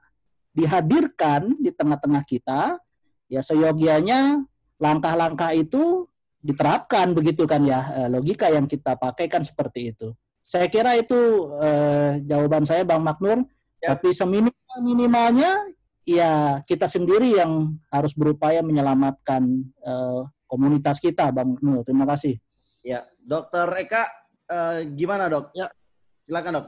Pendapat Dokter Eka dari pernyataan dari uh, Mas Tori tadi mengenai revolusi-revolusi. Saya pikir mungkin kita lebih masuk kepada konten ke kesehatannya ya dok ya dibandingkan ke aspek politik ya karena aspek politik ini kan terlalu luas cakupannya. Gimana dok? Ya, pertama saya uh, salam hormat Bang Tori. Ini dulu tahun 98 99 nih yang angkat mic di hadapan eh, apa? Ya memang dari dulu bahasanya seperti itu ya. Tapi saya tidak mau ter, terjebak pada pembicaraan politik tadi. Tapi memang eh, mau nggak mau ini public health ini eh, ber, ber eh, apa berdampak pada masyarakat luas. Jadi mau nggak mau memang kebijakan dan kebijakan itu tidak jauh dari eh, bagaimana penguasa untuk mengambil keputusan. Dan saya cuma bisa menggambarkan bahwa eh, betul Dokter Zaki sampaikan kedaruratan ke- kesehatan masyarakat sudah ditetap- ditetapkan barusan eh, keluar suratnya dan undang-undangnya sudah ada undang-undang eh, kekarantinaan kesehatan. Jadi kalau lihat dari undang-undang yang pasal 10 kan kedaruratan kesehatan eh, masyarakat ditetapkan oleh eh, presiden dan itu sudah ada PP-nya ditetapkan dan memang kita dalam kondisi darurat. Ya, dari kondisi darurat ini adalah kondisi yang memang tidak bisa eh, ditunda. Kalau terlambat, jadi berdasarkan waktu. Ya, ini bagi eh, awam nih ya, darurat itu apa kondisinya? Seperti kita sudah kebelat ke belakang. Oke, kalau tidak disegerakan maka terlambat. Ini ini kondisi darurat itu seperti itu. Mhm. Oke, jadi ada gawat darurat. Nah, darurat itu belum tentu gawat, tetapi eh, kalau tidak disegerakan maka akan terlambat. Nah, terlambatnya ini seberapa magnitude kesalah apa eh, kerusakannya? Nah, tadi saya sudah sampaikan. Sehingga eh, sudah keadaan darurat itu sudah sampaikan dan Undang-Undang eh, 6 2018 itu sudah mengatur segalanya, mulai penutupan eh, eh, apa eh, tempat-tempat masuk sampai kepada karantina rumah, karantina eh, rumah sakit, karantina wilayah dan PSBB yang diumumkan juga apa pembatasan sosial ber apa. BB itu apa PSBB eh, itu kita pelajari satu-satu ya Kita- kita pelajari pembatasan sosial ya pembatasan sosial ber, eh, apa, eh, berskala besar. Jadi kalau kita kita ikuti itu sebenarnya sudah ada aturannya. Jadi eh, kenapa yang disebut dengan karantina rumah yaitu ketika ada satu orang sekeluarga terinfeksi ya mengisolasi diri di rumah gitu. Itu namanya karantina rumah. Kalau ada orang yang sakit, keluarganya sehat, dibawa ke rumah sakit di Wisma Atlet untuk diisolasi di sana supaya tidak bertemu yang sakit dengan sehat. Sekali lagi, balik lagi ke tadi yang eh, Dokter Zaki sampaikan, tidak bertemu agent dengan hostnya. Seperti itu. Nah, kalau satu wilayah sudah menjadi kita nggak jelas lagi kamu positif atau tidak, ya satu wilayah di karantina. Nah, wilayah ini artinya apa? Bisa RT, bisa RW, bisa satu kecamatan, bisa satu provinsi atau satu pulau. Seperti itu. Karena wilayah. Tapi itu bahasa hukum nanti Bang Tori yang bisa menjelaskan lebih jelas dengan segala konsekuensinya. Konsekuensinya tadi ada konsekuensi sosial politik dan konsekuensi ekonomi yang memang harus eh, banyaklah ah- eh, ahli-ahli yang bisa di apa berdiskusi tentang hal ini. Tapi sekali lagi ini sudah terlambat untuk Jakarta bagi saya, ini sudah terlambat bagi Jakarta tapi belum terlambat untuk daerah yang lain. Sehingga eh, kita harus betul-betul membatasi jangan sampai orang yang terinfeksi dari epicentrum dari Jakarta ke daerah-daerah dan di daerah menulari eh, apa eh, para kerabatnya di daerah sehingga tidak bisa dikendalikan di daerah. Dengan kesehatan apa fasilitas kesehatan yang minim, saya tidak bisa membayangkan apa yang terjadi nantinya. Seperti itu Bang Matnur. Baik, terima kasih Dokter Eka eh, untuk tambahannya. Eh, saya mau mempersilahkan Mbak Feti Nuraini. Mbak Feti, apakah Mbak mendengarkan suara saya dan apakah Mbak juga bisa, halo, Eh, bisa Halo. Mbak Ya. Feti mana nih? Videonya nggak nyala ya Mbak ya? Oh, videonya enggak. Tapi pertanyaannya ada di chat, Mas, atau gimana? Eh, Langsung aja. sampaikan langsung aja kalau udah ketemu dengan Oke, narasumbernya. siap. Siap, siap, siap. Mungkin- Ada di chat. Ya, gimana Mbak? Masih masih ingin bertanya dengan langsung kan? Silakan Mbak Feti. Oh iya, boleh. Ya. Eh, saya ingin Videonya eh, bertanya dengan dokter. Eka. Izin tanya, dok. Saya ingin bertanya dengan dokter Eka. Eh, untuk pasien hamil yang batuk, pilek, dan demam, baiknya bagaimana ya, dok? Kebetulan kan saya bidan praktek di Hamil ya? rumah. Iya, hamil. Untuk hamil yang lagi batuk pilek. Hamil tapi lagi batuk dan pilek. Jadi gini, Iya, kebetulan kan saya bidan praktek di Iya. rumah, dok. Lain baiknya pasien disarankan ke SPOG atau bagaimana ya, dok? silakan dokter. Ini eh eh, jadi- jadi bentuknya ini saya sebenarnya nggak mau membahas secara klinis ya eh, di sini ya karena Oke. nanti banyak yang bingung juga. Tapi prinsipnya begini, ini ini ini wabah ya, ini wabah. Iya, iya. Artinya apa? Wabah eh, kita harus curiga dengan gejala yang di, di, diderita orang itu, apakah memang ini wabah ini atau bukan? Karena Iya, ini seperti flu yang lain, ada demam, ada batuk pilek, ada sakit tenggorokan, ada batuk. Ini yang yang yang klasiknya. 85% gejalanya adalah demam.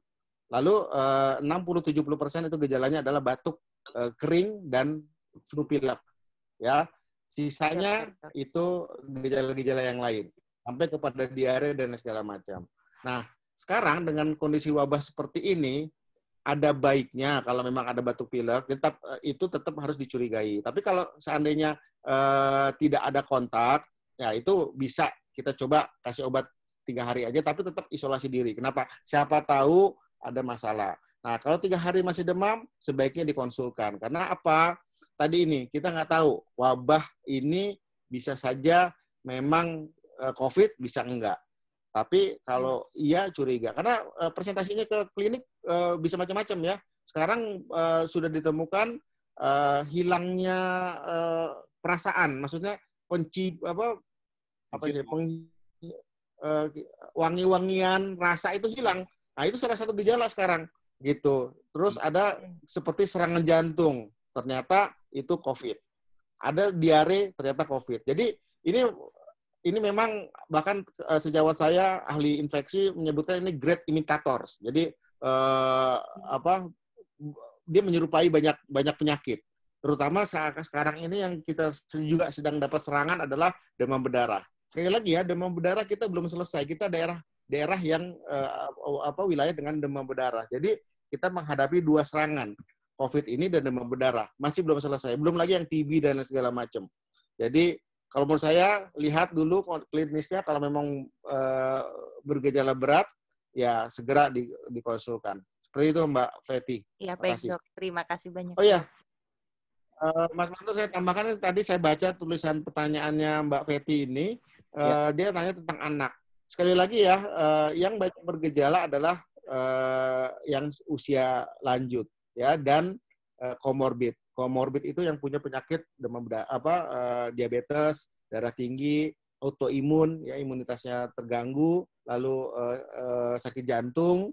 Nah, itu yang punya resiko gitu. Tapi yang suka menularkan adalah orang-orang yang muda yang daya, daya, daya tahannya eh, bagus gitu loh, ya usia 20 sampai 40. Nah, untuk anak angkanya kecil walaupun ada. Nah, ini yang jadi masalah. Anak itu mungkin ada positif tapi nggak ada gejala sama sekali, dia ceria segala macam tapi kita peluk-peluk, kita cium-cium, kita ketularan. Hmm. Jadi untuk anak lebih ringan gejalanya dan angka angka kejadiannya sedikit. Tetapi kalau eh, kena bisa berbahaya. Nah ini yang menjadi menjadi ya kita nggak bisa anggap remeh lah. Sekali lagi balik lagi ke hulu, putus rantai penyebaran. Itu lebih simpel. Baik, terima kasih dok. Eh, saya akan buka Itu, Pak Pantul. pertanyaan. Ya, akan buka pertanyaan untuk Ma- eh, Yasmin Y ya. Ini Yasmin ini laki atau perempuan ya? Mohon izin Mas atau Mbak kali ya, Mbak Yasmin ya. Ya, perempuan. Oh perempuan. Videonya nggak ada nih Mbak. Ini namanya kita eh, bertanya tapi orangnya nggak kelihatan gitu. Ini kayak invisible Kan juga ini kalau tadi dokter bilang invisible enemy, musuh tidak terlihat. Ada Mbak? Ya. Eh, Mbak Yasmin di mana posisi? Um, di Jakarta? Jakarta. Sebentar. Ya. Ya. Oke, dinyala. Oke, silakan Mbak Yasmin. Dinyala ya. Aduh, gambar jelek. Oke, maaf. Um, ya, um, dari Jakarta Globe, Bapak-bapak. Jakarta Globe Um, Media ya Mbak. Oke, ya. silakan Mbak. Ya, ya. Um, Oke, mungkin pertanyaan pertama itu um, agak basic sih. Mau nanya, Pak, Komis melihat dari negara lain, Korea Selatan dan China, mereka kasusnya sudah menurun. kalau dari analisis bapak-bapak dokter ini itu penyebabnya apa pak? Apakah itu karena obat yang mereka miliki yang mereka pakai atau kesigapan pemerintahnya untuk lockdown? Dan apakah Indonesia tuh butuh lockdown? Saya nggak tahu ini udah di mungkin tadi singgung sebelumnya, cuma mungkin boleh ditegaskan kembali apakah Indonesia butuh lockdown atau enggak untuk menekan penyebarannya. Itu yang pertama. Lalu yang kedua itu saya juga mau tahu pandangan bapak-bapak dokter dari segi medis ya, dari segi kesehatan, itu um, upaya Kemenkes sejauh ini tuh bagaimana di lapangan? Apakah mereka um, sangat akomodatif um, untuk um, para pekerja kesehatan? Lalu untuk maaf kebanyakan.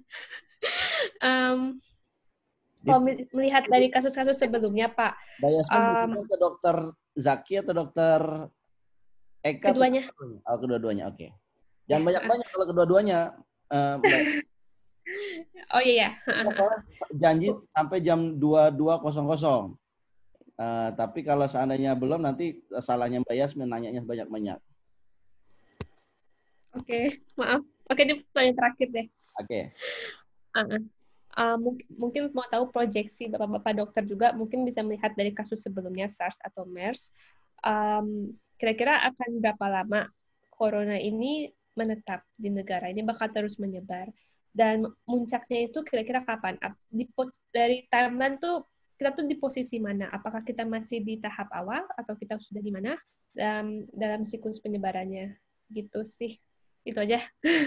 Ya, terima kasih terima kasih dokter Zaki silakan dok. Ya dari Bang Maknur dari beberapa pertanyaan yang tadi disampaikan, saya kira eh, saya akan menjawab kedua pertanyaan. Eh, yang pertama, kalau tadi tentunya kita sudah melihat bersama grafik yang disampaikan Dr. Eka bahwa Cina, Korea, eh, Singapura, dan mungkin Vietnam juga ya, eh, di situ ada Jepang juga sudah mulai menurun Artinya apakah pertanyaannya tadi apakah ini adalah karena efektivitas lockdown, apakah karena kesigapan pemerintah, apakah karena kemampuan daya dukung fasilitas kesehatan yang baik? Maka jawabannya adalah kesemuanya itu, begitu ya.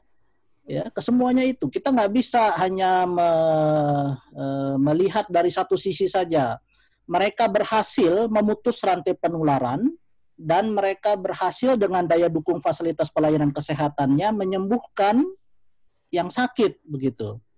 Jadi eh, jadi bukan satu variabel ya dok ya, yang kemudian oh, tidak bisa kita hanya melihat dari satu satu variabel. Tentunya tentunya ada satu eh, komponen yang lebih dominan yang dipakai sebagai strategi negara tersebut begitu ya uh, dibanding komponen yang lainnya. Yang ini tentunya beragam. Uh, tapi tidak mungkin hanya satu komponen saja itu bisa menurunkan uh, angka kesakitan ya, seperti yang kita saksikan pada negara-negara itu. Dan kalau ini kemudian pertanyaannya berlanjut kepada pertanyaan berikutnya, apakah uh, kita harus memilih lockdown? Maka saya akan memilih jawaban kita harus menerapkan Undang-Undang Nomor 6 Tahun 2018 secara komprehensif. Itu saya kira jawaban yang paling baik untuk kita karena kita sudah punya instrumennya. Itu adalah eh, apa namanya apa namanya eh, tools kita begitu. Dan apabila Undang-Undang Nomor 6 Tahun 2018 ini diterapkan secara komprehensif, saya pikir itu bisa menjawab pertanyaan tadi. Ya. Yang terakhir tentang e, pertanyaan kapan ini akan mencapai puncaknya dan kapan ini berakhir, dengan kerendahan hati saya akan menjawab saya tidak tahu. Terima kasih, Mas. Masya Allah. Kalau dokter nggak tahu, kita juga lebih nggak paham lagi ini dok luar biasa. Kita ngeri jadi dok dengar jawaban gitu. Ya, uh, saya nyambung ya, ya, uh, ya. Jadi uh, pertama kita saya ulang lagi dari yang tadi awal bahwa ini virus baru kita belum tahu sifatnya secara secara detail kita belum tahu senjata apa yang paling ampuh untuk membunuhnya semua obat-obatan itu masih masih dicoba pada skup T kecil memang ada yang bilang berhasil, ada yang tidak, tapi berhasil itu berapa persen belum ada angka yang yang betul-betul eh, apa efektif. Jadi ketika ada ada di koran bahwa sudah membeli obat ini sekian juta segala macam, saya langsung eh, bengong sebenarnya. Jadi belum ada eh, apa metode yang efektif. Seperti influenza yang pernah yang setiap hari atau kadang-kadang sering kita eh, hadapi dan demam berdarah pun itu adalah self limiting disease. Artinya apa? Dia sembuh sendiri. Makanya kenapa harus isolasi 14 hari? Karena dia akan mati sendiri dalam waktu 14 hari. Gitu loh. Kenapa ada angka 14 hari? Walaupun ada orang berteori lebih loh 14 hari, ada yang bilang 21 hari, ada yang bilang 27 hari. Tapi secara umum virus itu 7 sampai 14 hari dia bisa hidup. Artinya apa? Kalau kita sehat, kita berdiam diri, tidak diapa-apain, kita supportive, apa eh, supporting saja, itu sen- eh, sembuh sendiri.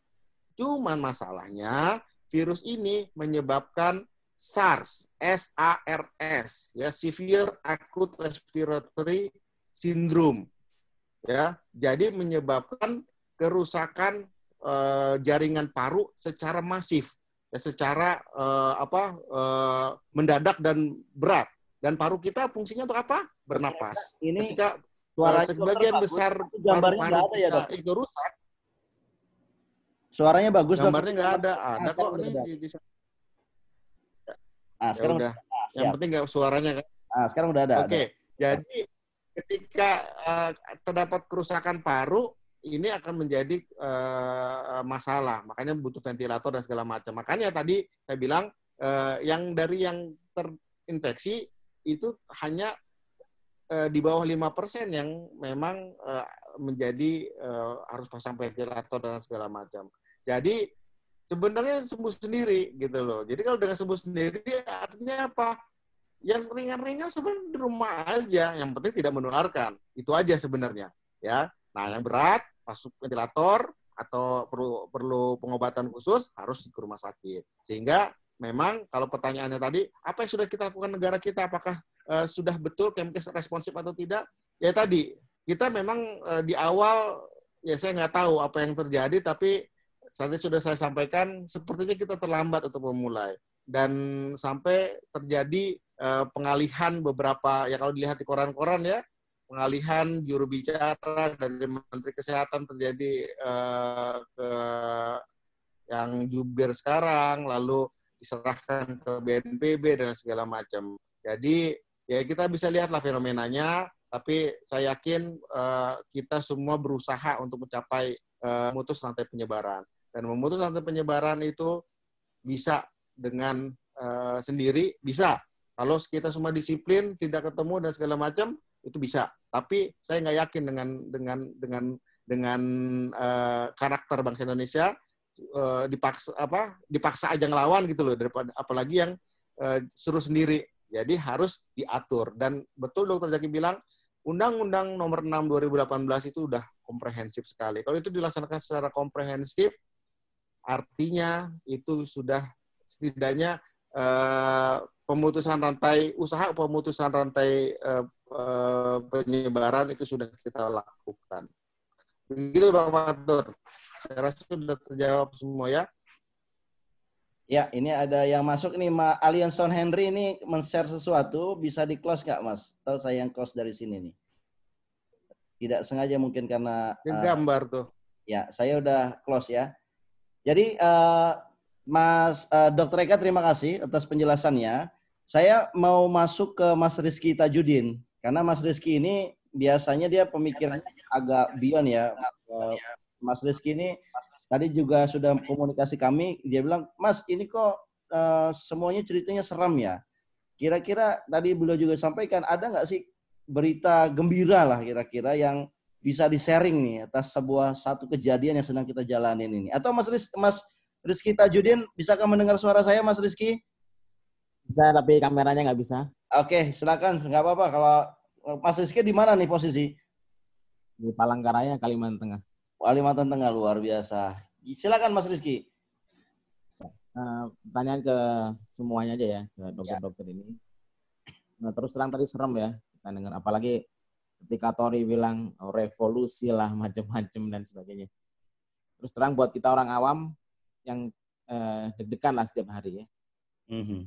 Nah, kalau mau ditanya gitu ya, apa sih eh, ada nggak harapan baik itu di mana kita yang bisa kita lihat dari kondisi sekarang ini?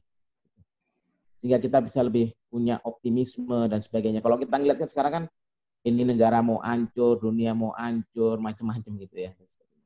Mungkin itu aja Pak. Ya, terima Eh, kasih. Mat- Pertanyaan menurut saya sangat positif ya pertanyaannya. Silakan Dokter Zaki. Ya, eh, saya mohon izin menjawab ini dari sudut pandang pendidik ya, Hmm. Eh, bukan eh, epidemiologi public health atau eh, bahkan dokter. Ya, seorang guru lah ya, guru bangsa lah ceritanya. Seorang pendidik saya kira untuk guru bangsa masih jauh. Salah satu ciri dari pendidik itu dia belajar dari kesalahan, Bang Maknur. Ya, dan berupaya memperbaiki ke depan. Jadi mungkin yang paling baik memang kita belajar dari kesalahan dan berusaha memperbaiki apa yang kemarin tidak tepat begitu. Tentunya kita harus optimis. Saya kira eh, kita tidak boleh kehilangan rasa optimisme itu. Dan kalau ditanya berita gembira, ada berapa tadi Bang Maknur? 90 orang lebih yang masih bisa bersama-sama kita di kesempatan ini tentunya adalah kabar gembira. Ya, kalau hanya tersisa Anda dan saya saja di sini, ya saya kira itu sudah sudah menyedihkan begitu ya, tapi ada lebih dari 90 orang yang masih concern tentang nasib bangsa ini dan bersama-sama ingin berbuat untuk kebaikan bangsa, saya kira itu kabar yang sangat gembira. Buat saya tentunya. Jadi kalau kita ingin mengambil eh, apa namanya ungkapan eh, better late than nothing, ya saya kira kita perbaiki kalimat akhirnya better late than death itself gitu. Terima kasih. Ya, terima kasih Bang Zaki. Keren, keren, keren. Jadi dengan ada pertemuan dan masih ada banyak yang concern, kabar gembira. Saya catat itu. Dokter Eka, silakan dok. Ya, jadi eh, memang eh, saya tidak berniat untuk menakut-nakuti di sini. Iya. Jadi eh, mohon maaf Bang Rizky kalau sampai eh, saya mengajak bahwa ini adalah kedaruratan, di mana kedaruratan ini harus kita eh, jalani dan harus diatasi. Nah, eh, optimisme yang bisa saya sampaikan di sini adalah eh, atau atau kabar baik yang bisa saya sampaikan ini di, di sini adalah eh, bahwa kita masih punya op- optimisme itu sendiri. Kenapa? Saya lihat bahwa sifat bangsa kita adalah gotong royong. Dan gotong royong ini sudah terlihat saat ini. Saya lihat di daerah perumahan saya semua ibu-ibu eh, eh, menggalang eh, apa bagaimana bisa eh, apa saling mengorder makanan ya. Jadi meningkatkan eh, ekonomi masing-masing ya ke tukang sayur dan segala macam dan sekitarnya itu saling membantu bantu membantu. Jadi eh, kita bangsa Indonesia ini punya sifat gotong royong dan itu yang yang menjadi kabar baiknya bahwa masyarakat sekarang sudah banyak yang sadar setidaknya di eh, lingkungan kita di Jakarta dan itu yang harus kita eh, sama-sama. Mungkin di sini ada Bang Fadil eh, ekonom untuk masalah ketakutan ekonomi apa yang bisa kita lakukan dan dan eh, saya yakin kita bisa saling membantu. Yang ditakutkan kan orang-orang yang makan sehari aja susah untuk cari makan akan kesulitan nanti kalau terjadi lockdown dan segala macam. Saya tidak apa tidak mengatakan eh, lockdown itu memang tidak ada damage-nya, tetapi eh, kita kalau sama-sama kita saling eh, bahu membahu ya eh, saling bantu satu keluarga yang mampu membantu eh, sekian keluarga yang eh, kurang mampu, saya rasa kita bisa lewati. Kalau memang cepat itu 14 hari. Tapi kalau kalau memang berlanjut ya ya tadi kita nggak tahu sampai kapan. Tapi kalau kita hadapi bersama-sama ini bisa bisa selesai. daripada tidak melakukan intervensi sama sekali. Tadi Dokter Jaki sampaikan kita tidak tahu sampai kapan, titiknya sampai kapan, dan uh, puncaknya sampai berapa ribu orang, ratus ribu orang kita nggak tahu. Ya, itu aja Pak uh, Matnur. Jadi baik. tetap optimis dan itulah kabar baik kita. Ya baik, uh, dok. Ini saya mau izin nih dok. Ya, kan tadi saya janji jam 22.00 ya. Mungkin dokter juga baru nyampe dari rumah sakit habis bertugas ya.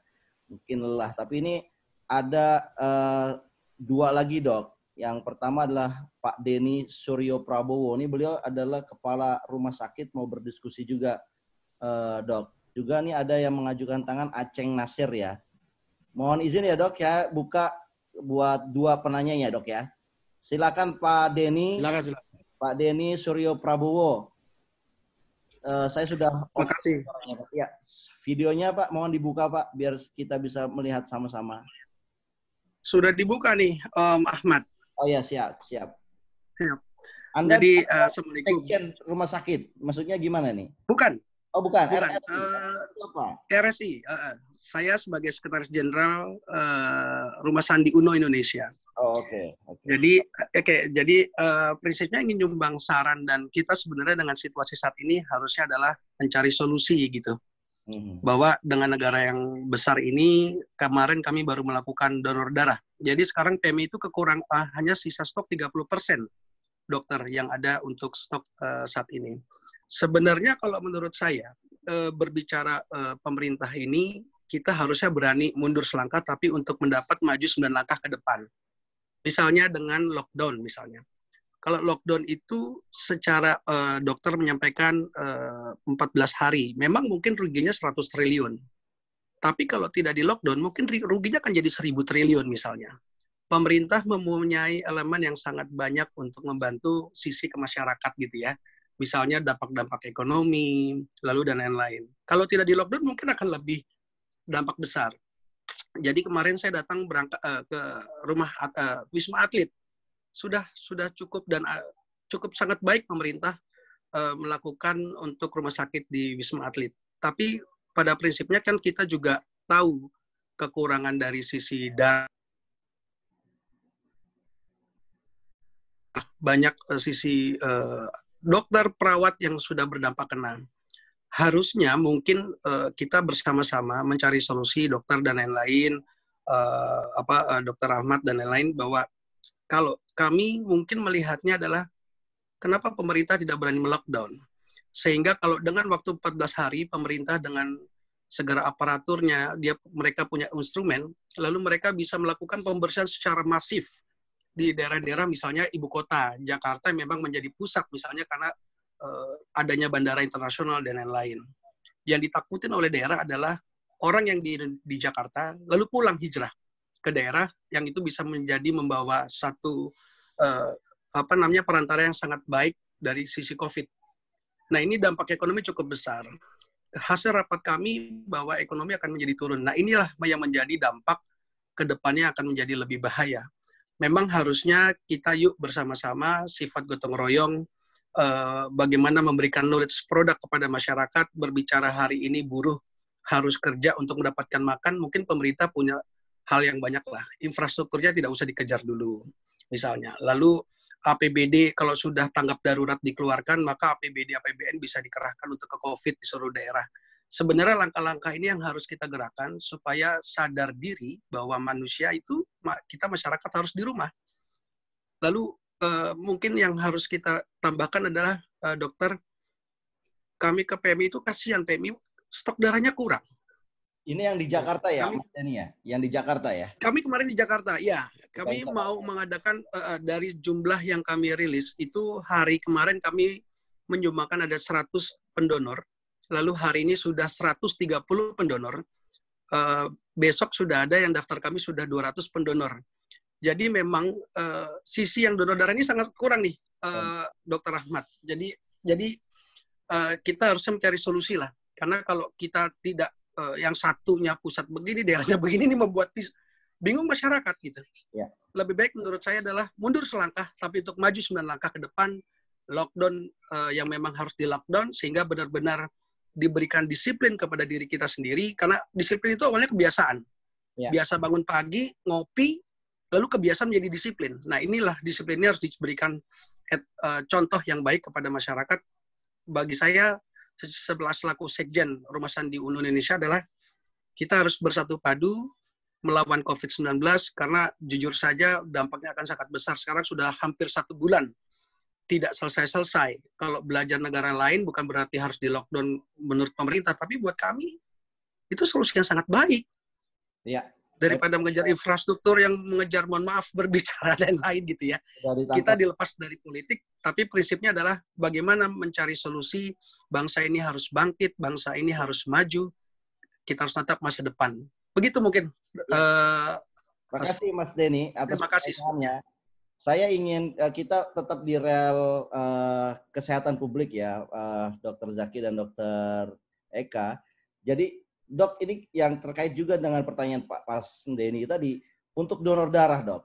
Kan orang juga pastinya saya biasa donor ya dok, tapi di era sekarang tuh ada kekhawatiran kita donor itu kita datang ke PMI juga PMI-nya nggak steril misalkan dari COVID ini. Jadi apa dok yang seruan apa yang terbaik ya menurut dokter dan menurut eh, ilmu yang dokter miliki untuk orang berdonor darah ini? Satu sisi kita shortfall donor darahnya eh, butuh darah, tapi satu sisi orang masih khawatir ya. Contoh saya lah, saya untuk keluar datang ke PMI mungkin masih khawatir dok dengan situasi di PMI sana. Gimana dok menurut dokter? Dokter eh, Eka, silakan dok. Ya, jadi eh, terima kasih. Memang betul sekali donor darah eh, apa darah itu menjadi sangat kurang karena orang tidak berani keluar untuk eh, mendorong darah dan memang harus ada proaktif dari pihak-pihak eh, PMI dalam hal ini untuk bisa mendapatkan donor darah.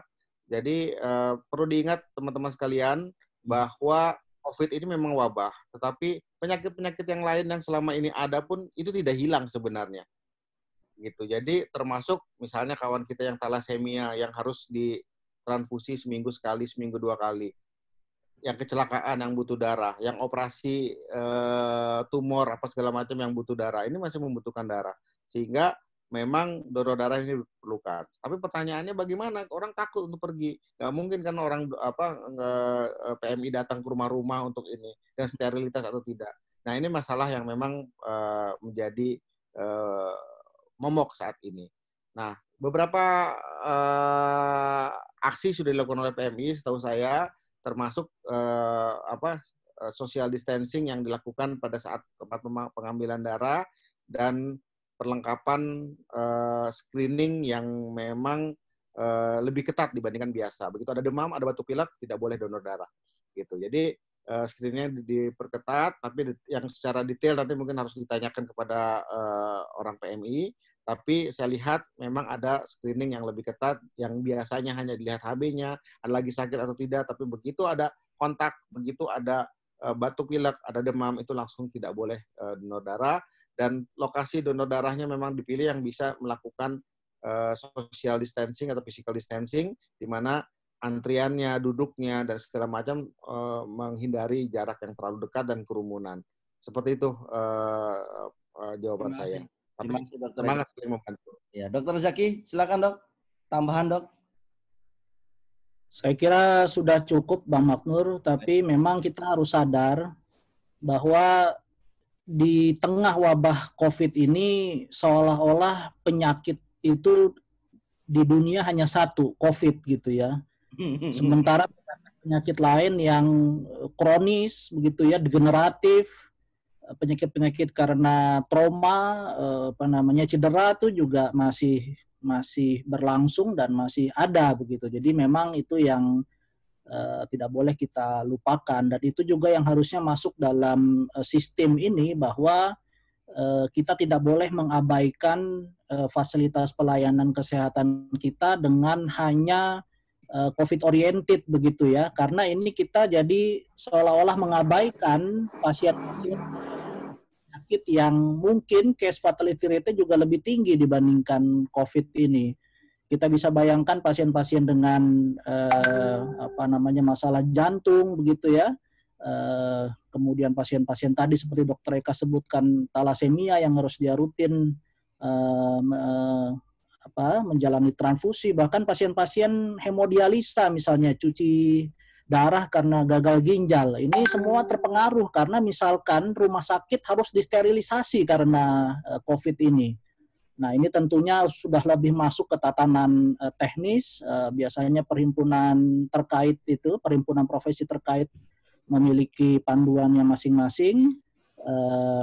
Apa namanya kemarin juga memang kami menerima himbauan dari unit transfusi darah PDKI Jakarta ya kebetulan sejawat kita tuh Dr. Niken Ricci eh, bahkan sampai menghimbau langsung begitu agar eh, kita semua tidak melupakan eh, untuk memberikan donasi darahnya tentunya mereka sudah punya screening eh, measure-nya begitu untuk eh, menjamin bahwa apa namanya prosedurnya bisa aman. Saya kira itu mungkin tatanannya udah lebih teknis ya, Mbak Maknur. Terima kasih. Ya, terima kasih Dokter Zaki. Uh, satu penanya terakhir, saya akan berikan ini ke Pak Ari Wibowo yang sudah uh, tadi menjapri minta kesempatan. Gimana Pak Ari? Silakan Pak Ari. Halo Pak Ari, suaranya belum keluar nih Pak Ari. Ya, silakan Pak Ari. Saya sudah siap. Sip. Halo. Halo. Ini Pak Ari ini Kedengaran, Nur? Manajer dari kepala, banyak ke, rumah sakit ini kelihatannya ini Pak Ari. Bisa, oh. Di budayawan aja Bang Matnur. Assalamualaikum warahmatullahi wabarakatuh. Terima kasih waktunya Mas Matnur. Terima kasih Dokter Eka dan Dokter Zaki atas kesempatan memberikan apa eh, pertanyaan atau pernyataan.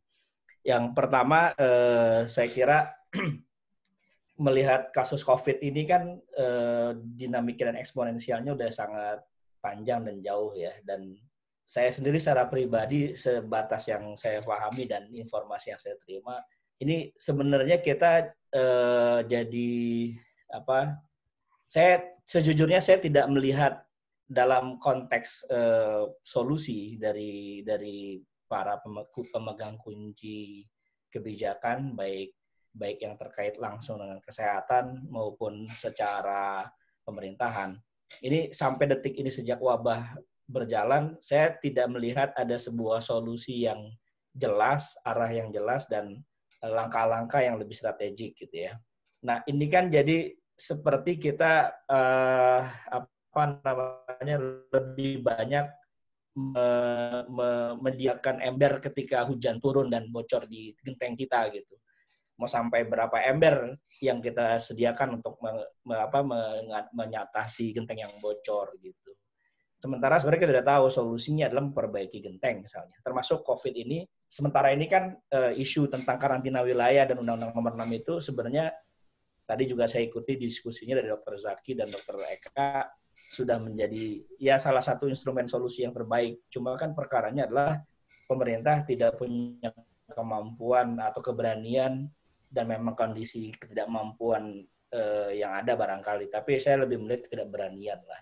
Nah, saya sih cuma berpikir beberapa hal yang sudah dilakukan oleh teman-teman di kalangan medis ya para dokter sangat apresiasi sekali belum lama uh, di awal-awal malah dokter Eka bersama Pabdi uh, sudah menyatakan dan mendukung untuk lockdown dan karantina wilayah begitulah. Terakhir saya juga uh, kita lihat para forum guru besar di UI dan FKUI terutama juga menyarankan pemerintah untuk mempercepat proses ini apa, melakukan lockdown atau karantina wilayah. Nah, saya, jadi poin saya adalah mungkin mungkin perlu ada sebuah tindakan lebih lebih aktif dan pressure lebih keras kepada pemerintah untuk melakukan atau merujuk Undang-Undang Nomor 6 itu diterapkan secara uh, secara sungguh-sungguh dan cepat gitu supaya kita nggak terus-menerus menjadikan uh, bocornya genteng itu dengan ember terus-menerus gitu loh. Nah ini kan kalau kita tidak melakukan langkah-langkah yang lebih uh, pressure yang lebih kuat kepada pemerintah untuk menekan dan menerapkan Undang-Undang Nomor 6 ini, ini ya kita tinggal tunggu waktu aja dan akhirnya kita menyerahkan pada uh, apa namanya social movement yang masyarakat royal lah, kesadaran pribadi dan ini sangat sulit gitu. Jadi saya lihat, saya setuju dengan apa yang dikatakan Dr. Zaki dan Dr. Eka dengan segala kepakarannya bahwa penerapan Undang-Undang Nomor 6 ini memang mau nggak mau udah harus diterapkan secara secara tegas dan cepat sebelum benar-benar terlambat gitu. Nah, perkaranya adalah memang pressure ini yang harus kita perkuat dan dan apa semakin dikuatkan ke pemerintah untuk segera diterapkan. Uh, saya saya sangat sangat terinspirasi dengan Che Guevara gitu ya. Orang yang memiliki latar belakang dokter tapi juga memiliki apa semangat revolusioner dan keberanian untuk bertindak gitu. Saya sih berharapnya teman-teman dari rekan-rekan dokter uh, ini ada nggak apa-apa mas. Saya nanti ada yang Ah, ya Ya, ya. Mungkin. Saya saya berharap sih dok dari teman-teman dokter juga apa yang sudah dilakukan oleh rekan-rekan PABDI, rekan ID dan sebagainya mungkin mungkin perlu diperkuat dan kita saya kira masyarakat awam juga siap membantu itu.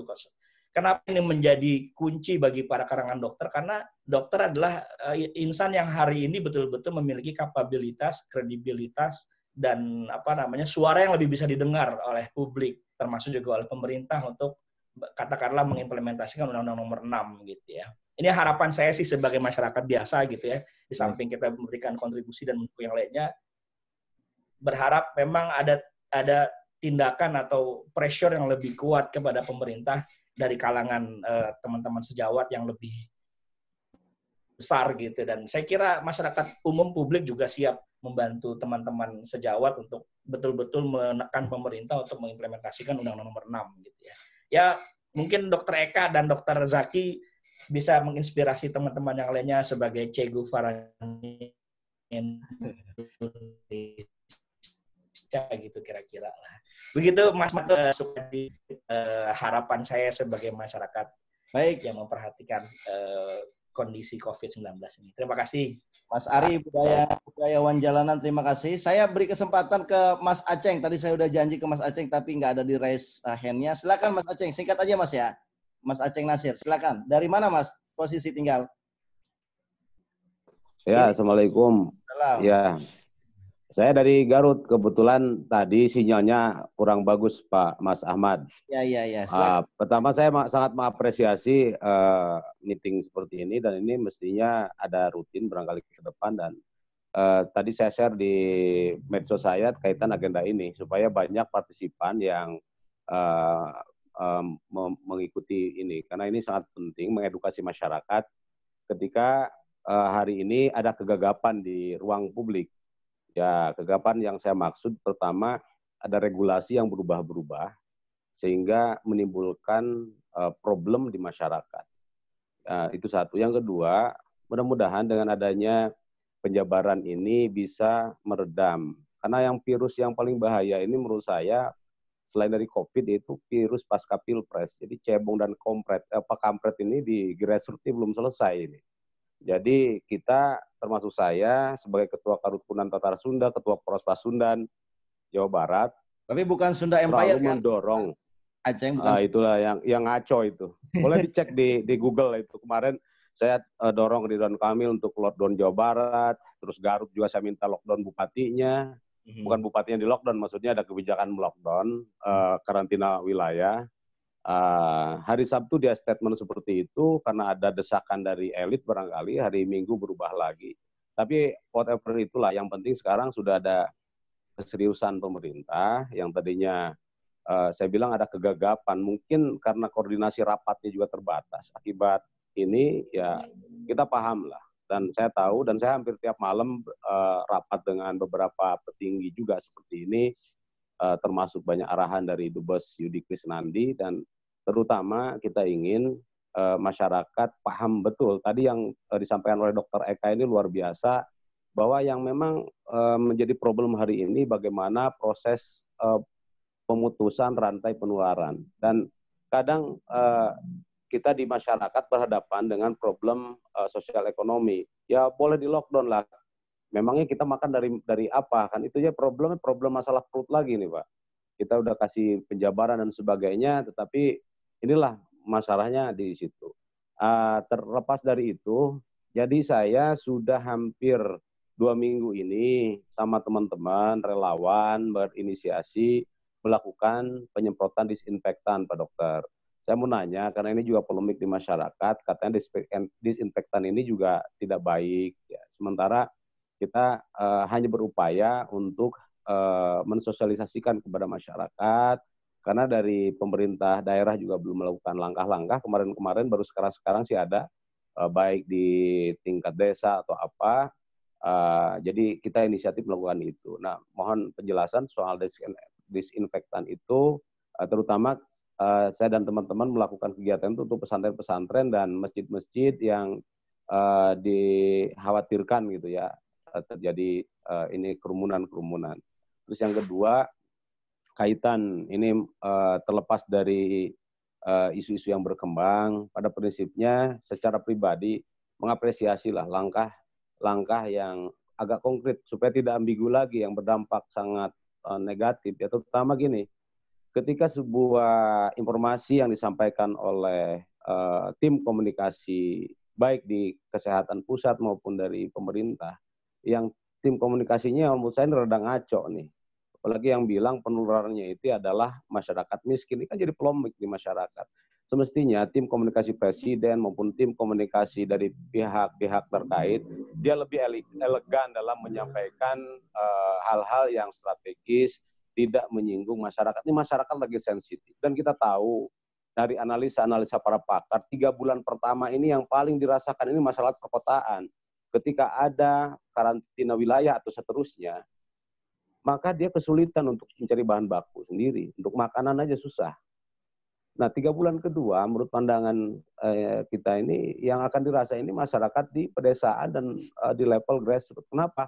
Karena mereka masih ada stok-stok makanan yang mungkin masih bisa membackup kebutuhan. Dan memang orang kampung ini udah biasa hidup uh, sederhana, gitu. Jadi tidak terlalu ini. Tetapi pasca tiga bulan kedua ini, kalau tidak ada uh, support ataupun kesediaan pangan, sementara mereka uh, dengan persepsi yang kondisi hari ini untuk perdagangan juga uh, tidak laku dan sebagainya, ini saya khawatir ada uh, perubahan struktur sosial yang tentu dinamika ini sangat uh, menjadi luar biasa jika didorong atau ada apa ada bandul-bandul uh, isu di tingkat grassroots. Dan yang tiga bulan ketiga ya kelompok menengah macam-macam kita inilah yang mungkin masih ada tabungan, saving money untuk sekian lama, tetapi lama-lama juga ada dropping kalau tidak ada uh, ke kejelasan. Yang paling jelas di negara ini ya mungkin PNS lah.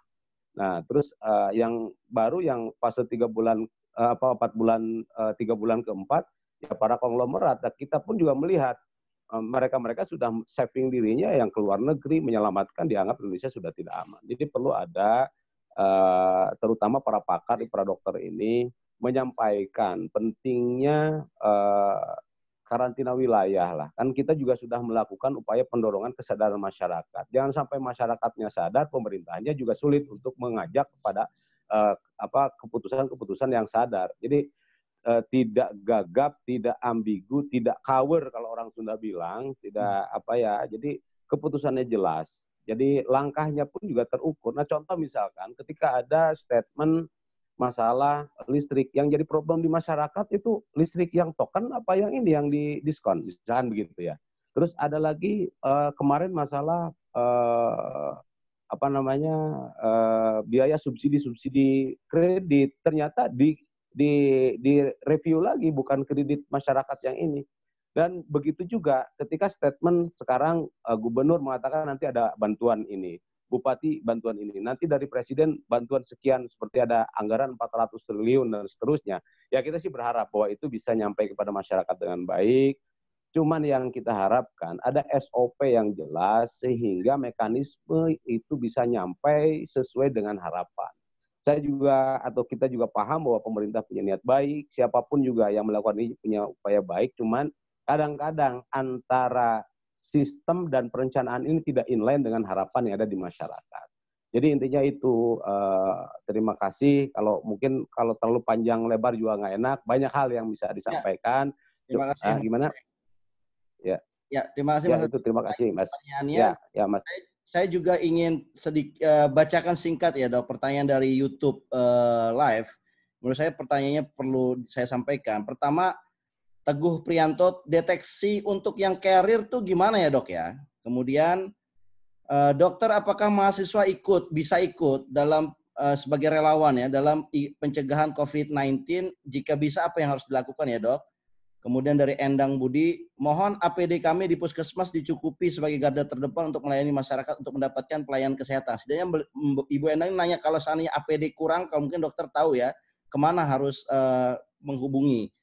Teguh Prianto nanya, bila hasil observasi pasien harus dipasang ventilator, berapa peluang sembuhnya dok?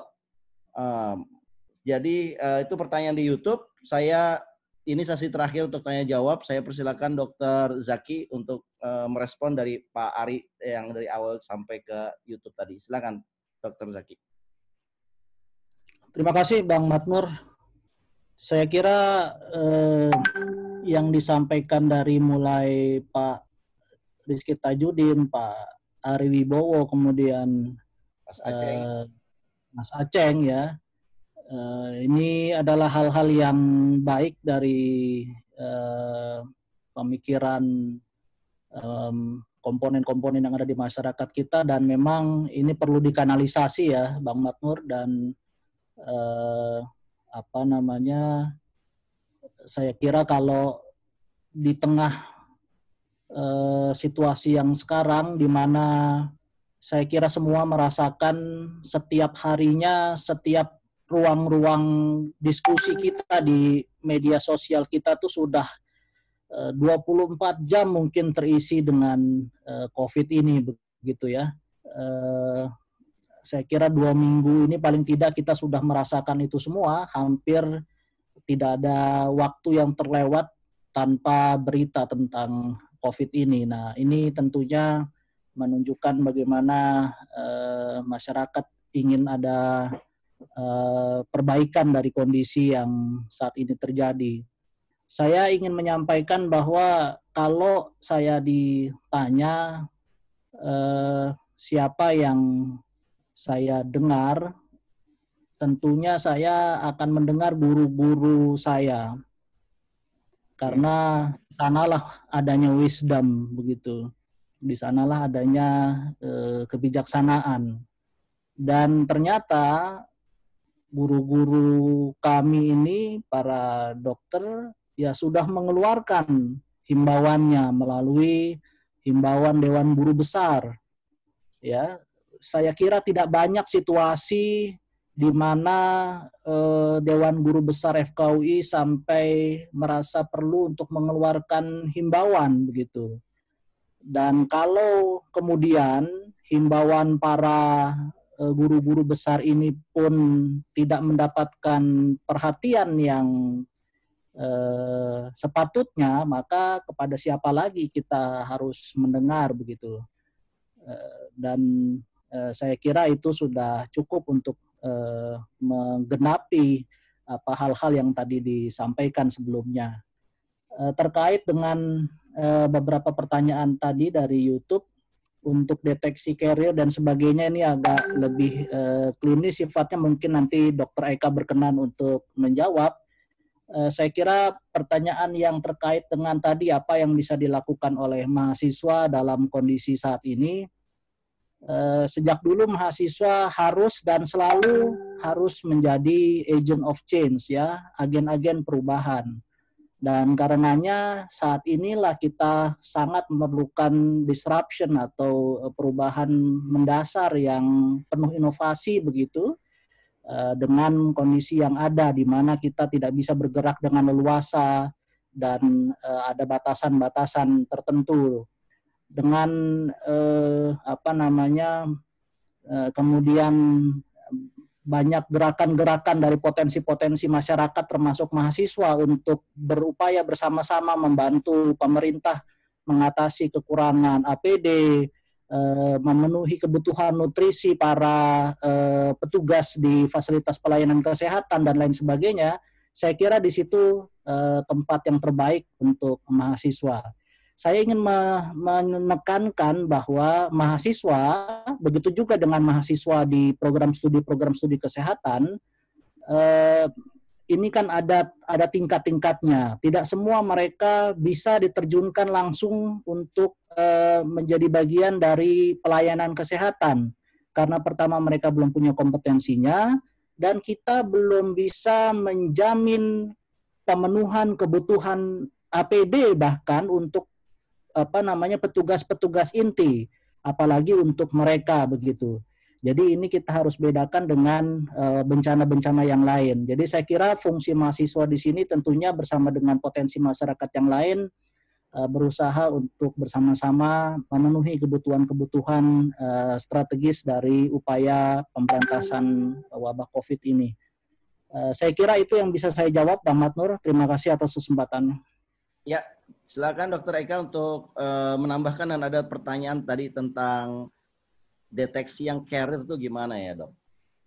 Silakan dok. Ya, uh, sebelum saya menjawab dan uh, mungkin ini diskusi terakhir uh, pada sesi kita, uh, mohon doanya. Barusan saya mendapat kabar dua rekan saya dokter, satu dokter anak, satu dokter umum, sedang uh, gawat dirujuk karena COVID ini.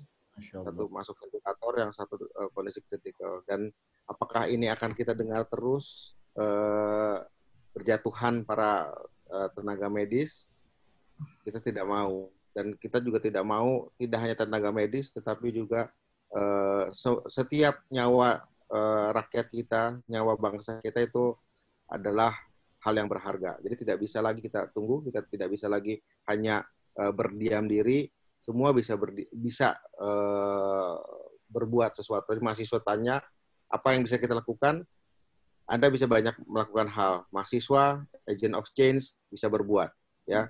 Bahkan berdiam diri itu sendiri pun sekarang berbuat, ya. Karena isolasi, berdiam diri itu juga udah berbuat sesuatu. Nah, saya masuk kepada pertanyaan tadi uh, tentang APD, menyambung tadi uh, pernyataan saya. Ini memang hal yang fundamental dan tadi saya bilang ya ada dua arm. Yang pertama adalah penyebaran yang itu yang saya kita tadi bicarakan pemutusan rantai penyebaran dan, dan deteksi, uh, tapi arm yang lain adalah fasilitas kesehatan. Dan fasilitas kesehatan ini tidak hanya berapa jumlah bed, tidak hanya jumlah rumah sakit dan jumlah SDM, tetapi jumlah APD. Kita tidak bisa bunuh diri ya menghadapi uh, menghadapi perang melawan uh, monster dengan uh, apa daya bunuh yang tinggi tapi tidak menggunakan atau tidak memakai senjata minimal perlindungan diri sehingga uh, sempat uh, ada pernyataan yang mungkin uh, dihiperbolikan oleh teman-teman uh, media bahwa dokter tidak atau ID uh, menolak melakukan pelayanan kalau tidak diberikan APD. Sebenarnya bahasanya tidak itu, tidak seperti itu. Tapi kita tetap bertekad melayani sampai titik APD terakhir. Artinya tanpa APD tanpa APD kita tidak bisa berbuat apa-apa. Karena tidak mungkin kita menolong orang tenggelam tapi kita pati tenggelam. Seperti itu, ya. Jadi APD harus dan dapat dari mana? Info yang saya dapat APD yang digambar-gambarkan import dari uh, luar itu dibagikan melalui uh, uh, dinkes ya tapi saya ta tidak tahu pembagiannya seperti apa mana yang uh, setiap uh, dinkes punya punya punya aturan bagaimana me me membagikannya. Ya, yang, yang jelas kami dapatkan kita pernah lihat di media sosial bagaimana uh, uh, apa barisan polisi pakai APD lengkap. Ya pernah ada yang dapat share-nya ada orang belanja di mall pakai APD lengkap. Saya tidak tahu itu dapat dari mana APD-nya jadi uh, ini ini ketimpangan yang memang jadi kalau tanya puskesmas tersebut uh, dapat dari mana APD? Tanyakan ke dinkesnya. Tetapi uh, kita bisa bahu membahu ya. Sebenarnya itu kan APD itu kan sebenarnya cuman cuman uh, menjahit uh, membuatnya mungkin bisa. Nah, lalu balik lagi kepada keefektifan tes uh, yang dilakukan. Tes itu merupakan salah satu upaya untuk membatasi memutus rantai penyebaran apa uh, penyebaran. Nah, orang yang carrier ya sekali lagi orang yang carrier itu kalau dites dengan tes yang uh, bagus itu pasti positif. Nah, itu yang dilakukan oleh Korea. Dia melakukan massive test. Semua orang drive thru, datang tes, dapat langsung di eh, apa isolasi orang tersebut. Isolasi itu bisa isolasi di rumah, dilihat di tracking siapa aja yang ketemu, ketika ketemu klasternya dijaga langsung dites. Itu yang carrier. Dia tidak bergejala tapi dengan sukarela melakukan tes. Seperti pasien nomor satu dan nomor dua di Indonesia. Dia dengan sukarela melakukan pemeriksaan. Jadi itulah yang yang yang carrier dia tidak ada gejala sebenarnya, tapi carrier. Nah carrier inilah yang berbahaya menularkan. Dan saat ini kondisinya, terutama di daerah, lebih banyak adalah dites ketika sedang men- mengalami simptom atau gejala. Jadi eh, ya ini memang tidak mudah, tapi harus dilakukan secara bersama. Dan saya yakin kita semua bisa melalui badai ini. Bangsa kita bangsa besar, kita sama-sama dan kita bisa mel- melaluinya. Tadi Dokter Zaki sudah men- eh, menyampaikan eh, bahwa masing-masing harus ada kanalnya. Dan kanalnya ini kalau tidak disalurkan dengan baik, maka saya takut akan terjadi ledakan-ledakan secara sosial, ekonomi, dan politik. Dan tadi sudah disampaikan oleh eh, Bang Rizky dan Bang Arbo, budaya jal- jalanan bahwa rakyat tidak akan diam dan kita harus sama-sama eh, me- menyelesaikan ini ya kalau memang dirasa eh, pemerintah lambat ya tadi minimal kita bisa melakukan eh, apa pemutusan rantai itu di lingkungan kita masing-masing. Saya rasa demikian. Ada yang belum terjawab? Saya pikir sudah, Dok. Ya, baik. Ada, ada, ini ada yang baru pertanyaannya Pak Tutut. Apakah yang telah sembuh bisa terjangkit kembali, Dok? Terus apa yang membedakan gejala awal dengan gejala kedua, Dok? Terima kasih. Ya. Jadi tadi saya sudah sampaikan di awal mungkin eh, kurang eh, eh, apa eh, jelas ya penjelasannya. Jadi pada natural eh, virus ini adalah akan terbentuk antibodi. Ketika antibodi itu terbentuk, maka kita akan ada kekebalan. Kita ada kekebalan, tapi tidak ada menjamin bahwa kita tidak terinfeksi. Seharusnya tidak terinfeksi. Tetapi kita tidak tahu ini virus ini virus baru. Kita tidak tahu strain-nya berapa banyak. Jadi saudaranya bentuknya berapa banyak. Ada yang muka apa? Dia sama-sama eh, virusnya sama, tapi strain-nya apa kode-kodenya berbeda. Nah, ketika kodenya berbeda, maka antibodi yang terbentuk itu belum tentu bisa mengenali antigen yang ters- yang yang bentuknya berbeda sehingga dia bisa terinfeksi dan laporan reinfeksi atau terinfeksi ulang sudah ada di berbagai negara. Di kita memang belum belum belum dilaporkan, tapi di berbagai negara sudah dilaporkan reinfeksi. Artinya apa? Kemungkinan memang lebih kecil untuk eh, terinfeksi lagi. Tetapi sekali lagi ini ada kemungkinan untuk bisa terinfeksi lagi. Jadi jangan eh, pernah bisa eh, yakin udah terinfeksi akan eh, bebas seumur hidup.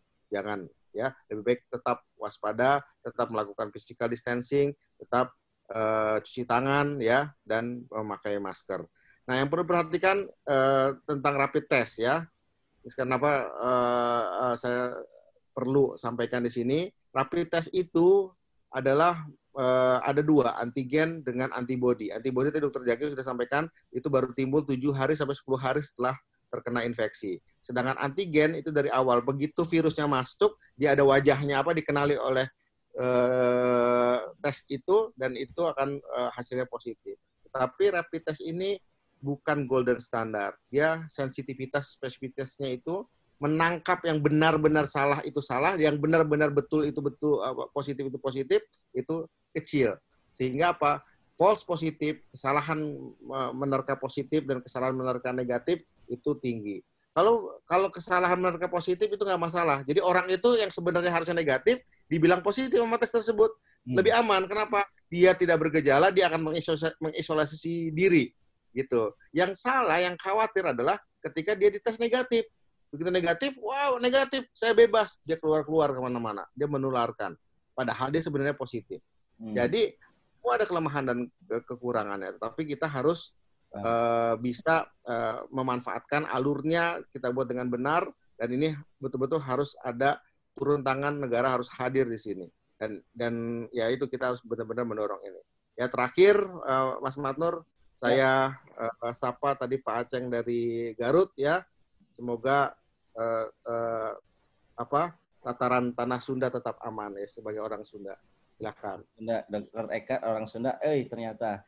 Baik, terima kasih. Eh, kita mau masuk sesi terakhir yaitu closing statement dari pembicara. Sebelum closing statement, saya ingin eh, share eh, video berikut 47 detik.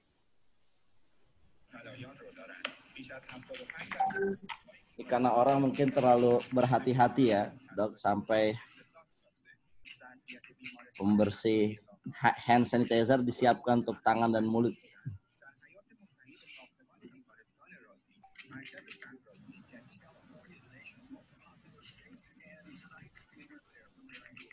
Rokok pun dibersihin pakai anti disinfektan ini.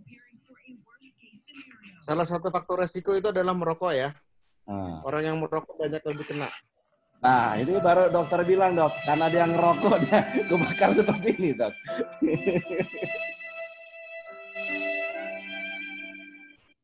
Iya, karena dokter udah bilang dia ngerokok seperti itu, dia kena tuh, dok, kena batunya. Baik, sebelum pembicara ngasih closing statement, saya persilakan Pak Fadil. Bapak mungkin ingin me, apa istilahnya memberikan sedikit ini Pak eh, apa summary singkat. Silakan Pak Fadil. Ya bukan sampai sikat, tapi mungkin tadi eh, ada apa namanya perbincangan yang eh, yang kuat saya kira yang menyatakan bahwa kita tidak bisa tergantung pada pemerintah. Nah, ini sekarang ini kan saya ingin samakan dengan pemilu. Pemilu waktu itu kan banyak melibatkan eh, apa namanya nih eh, kelembagaan dari tingkat pusat ke daerah gitu ya, sampai ke RT ke RW gitu loh. Nah sekarang ini saya kira mungkin lebih baik penanganan ini kita fokuskan ini di tingkat RT dan tingkat RW. Nah, RT RW ini misalnya melakukan apa sih namanya pendataan ya berapa eh, kakak atau orang yang memerlukan eh, bantuan pangan ya kan kemudian eh, itu di, didata kemudian diorganisir kemudian siapa yang bisa membantu di lingkungannya siapa juga gitu kan didata juga kemudian dipertemukan di situ dan kemudian diaturlah cara bagaimana misalnya memenuhi kebutuhan buat semua eh, kakak yang ada di RT di RW itu. gitu. Jadi, tapi kemudian diorganize secara lokal. Nah, kemudian mereka sendiri yang menentukan apakah ini akan melakukan lockdown atau tidak, gitu kan. Eh, nah, jadi di bawah ininya ini apa di organisasinya di bawah di tingkat lokal eh, di tingkat RT dan RW penanganan kasus corona ini. Nah, jadi tapi sebelum misalnya melakukan lockdown itu harus memastikan bahwa sudah ada sistem yang uh, dibuat ya yang yang yang yang bisa berjalan dengan baik dalam hal pemenuhan uh, kebutuhan uh, pokok ini gitu. Saya kira itu uh, Pak Matul lah kata tadi saya kan intinya kan bagaimana memutus penyebaran ini dan berbagai kebijakan yang ada sekarang ini nampaknya tidak terlalu apa namanya belum efektif lah gitu dan saya kira juga nah, itu. Ya gitu aja Pak Matur, terima kasih. Eh, Dokter Zaki, silakan dok kesimpulan atau closing statement dok. Ya, saya kira apa yang disampaikan barusan sudah eksekutif summary ya dari diskusi kita malam. Ya, eh, saya ingin menambahkan saja ini mungkin bukan closing statement yang eh, apa merangkum semua, tapi saya setuju bagaimana kita harus empowerment eh, komunitas kita dan dalam hal ini nomenklaturnya artinya RT RW termasuk juga di dalamnya untuk mengantisipasi eh, sanksi sosial Bang Matmur. Ini yang kita takutkan ini terjadi ketika petugas-petugas eh, apa namanya medis, petugas-petugas kesehatan yang mungkin terkait atau dikaitkan dengan penanganan COVID ini sudah menghadapi beban yang besar di tempat tugasnya mereka harus juga menghadapi sanksi sosial ya beban sosial ketika kembali ke rumahnya begitu ya. Eh, dan ini tentunya eh, apa namanya tidak lain dan tidak bukan ya komunitas sendiri yang tentunya harus eh, bahu membahu bersama justru untuk eh, mengatasi hal-hal ini ketika yang dikhawatirkan adalah kita mengkhawatirkan masyarakat kita kelaparan, eh, tidak mendapatkan eh, apa namanya upah yang cukup untuk bisa menghidupi diri mereka sehari-hari, maka sekali lagi komunitas paling dekatnya lah yang harusnya menjadi supporting sistemnya begitu. Saya percaya kita bisa dan eh, memang pemerintah pasti tidak akan mampu untuk me- menghadapi ini semua. Eh, saya boleh mengatakan jangankan pemerintahan Indonesia, apa namanya Amerika saja eh, dengan kondisi yang saat ini bisa kita bilang eh, tidak mampu untuk melaksanakan apa namanya program mengatasi COVID ini dengan baik begitu ya. Bahkan di beberapa media eh, Trump itu menjadi sasaran eh, bully banyak pihak begitu. Eh, dan saya kira ya tadi sekali lagi ujung tombaknya adalah eh, masyarakat untuk memutus rantai penularan, apa namanya menjaga sesama eh, komunitasnya dan sekali lagi eh, kita bersama-sama pada akhirnya bisa survive dari ini semua. Terima kasih. Terima kasih Dokter Zaki. Dokter Eka, silakan dok. Baik, saya sudah kehabisan kata-kata. Jadi Hmm. tadi sudah dipulkan oleh Dokter Zaki dan eh, Bang Fadil. Eh, ya intinya saya mengajak semua elemen masyarakat, semua yang hadir di sini setelah diskusi ini semoga bermanfaat. Kita ajak sama-sama ini kita sedang menghadapi suatu masalah besar. Kita sedang menghadapi kedaruratan eh, eh, kesehatan masyarakat. Kalau bahasa saya kita sudah sedang menghadapi atau kita sedang eh, melihat tsunami. Dan tsunami itu gelombangnya sudah terlihat di depan. Dan ketika kita melihat ke depan, tsunami ini sudah terbentuk, bukan lagi kita bagaimana kita meng- eh, menghentikan tsunami, tapi bagaimana kita cari lari ke tempat tinggi, berlindung, atau kita belajar eh, mengatasi gelombang, yaitu dengan belajar surfing, gitu ya. Jadi tinggal seperti itu yang kita lakukan. Dan apa yang kita lakukan tadi, nomor satu adalah yang bisa kita lakukan adalah memutus rantai penyebaran. Baik lewat pemerintah dengan Undang-Undang Nomor 6 2018, mudah-mudahan ini dilaksanakan dengan komprehensif, atau kita eh, berdayakan sendiri. Di sini saya mau eh, terakhir saya mau menekankan jangan alergi dengan kata lockdown karena lockdown itu sebenarnya artinya luas. Semua negara memakai kata lockdown tetapi eh, pengertiannya berbeda-beda. Contohnya Malaysia. Malaysia tidak menggunakan kata lockdown, tapi menggunakan kata movement control order, ya, restriksi pergerakan. Jadi semua harus di rumah kecuali kebutuhan pokok, rumah sakit, orang yang sakit, dan jalan-jalan memang diblok. Tetapi bukan berarti tidak boleh. Satu mobil hanya boleh berisi satu. Dan akan ditanya mau ke mana. Kalau esensial, silakan pergi. Kalau tidak esensial, balik ke rumah. Dan itu berjalan.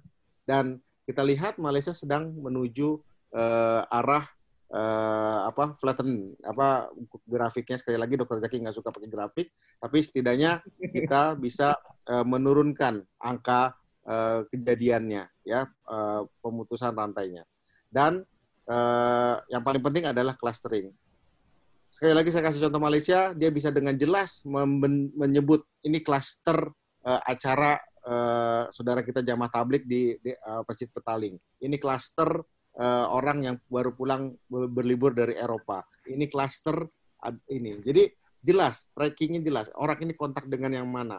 Nah, yang sehat dijagain, jangan sampai kontak dengan orang-orang ini. Seperti itu. Dia tidak ada lockdown mengunci semua. Nah, tapi sekarang kan di Indonesia, apa di, di kita, Jakarta sudah tidak jelas. Anda kontak dengan siapa, kita tidak jelas.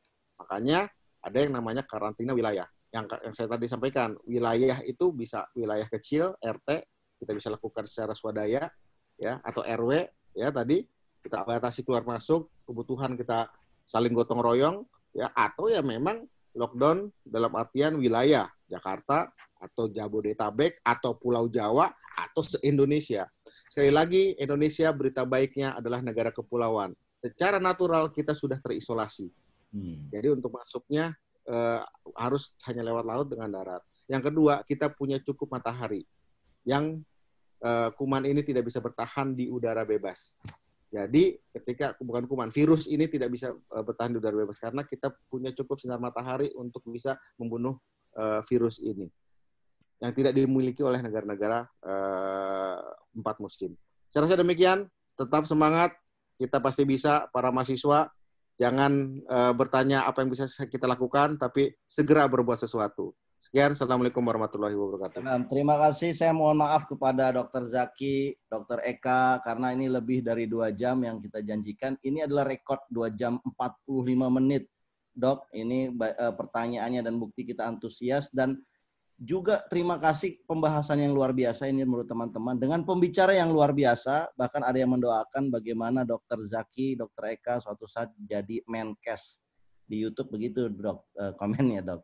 Dan eh, saya juga nggak kebayang kalau saya membiayai eh, konsultasi sama dokter spesialis, dokter lagi berapa tuh biayanya tuh per jam itu kan? Ini 2 jam 45 menit tentunya mahal sekali. Dan karena ini berharga sekali kami rekam dan kami akan upload di YouTube dan kami akan siarkan kembali eh, dok biar masyarakat yang lain yang belum bersama kita ini bisa mendengarkan eh, bisa mengikuti bisa menontonnya eh, ulang eh, di channel YouTube kami. Dan bagi teman-teman yang ingin tahu update mengenai diskusi kita berikutnya silakan gabung di grup WhatsApp-nya. Saya sudah kirim di awal tadi. Silakan panjat ke atas. Ada ada linknya. Silakan klik.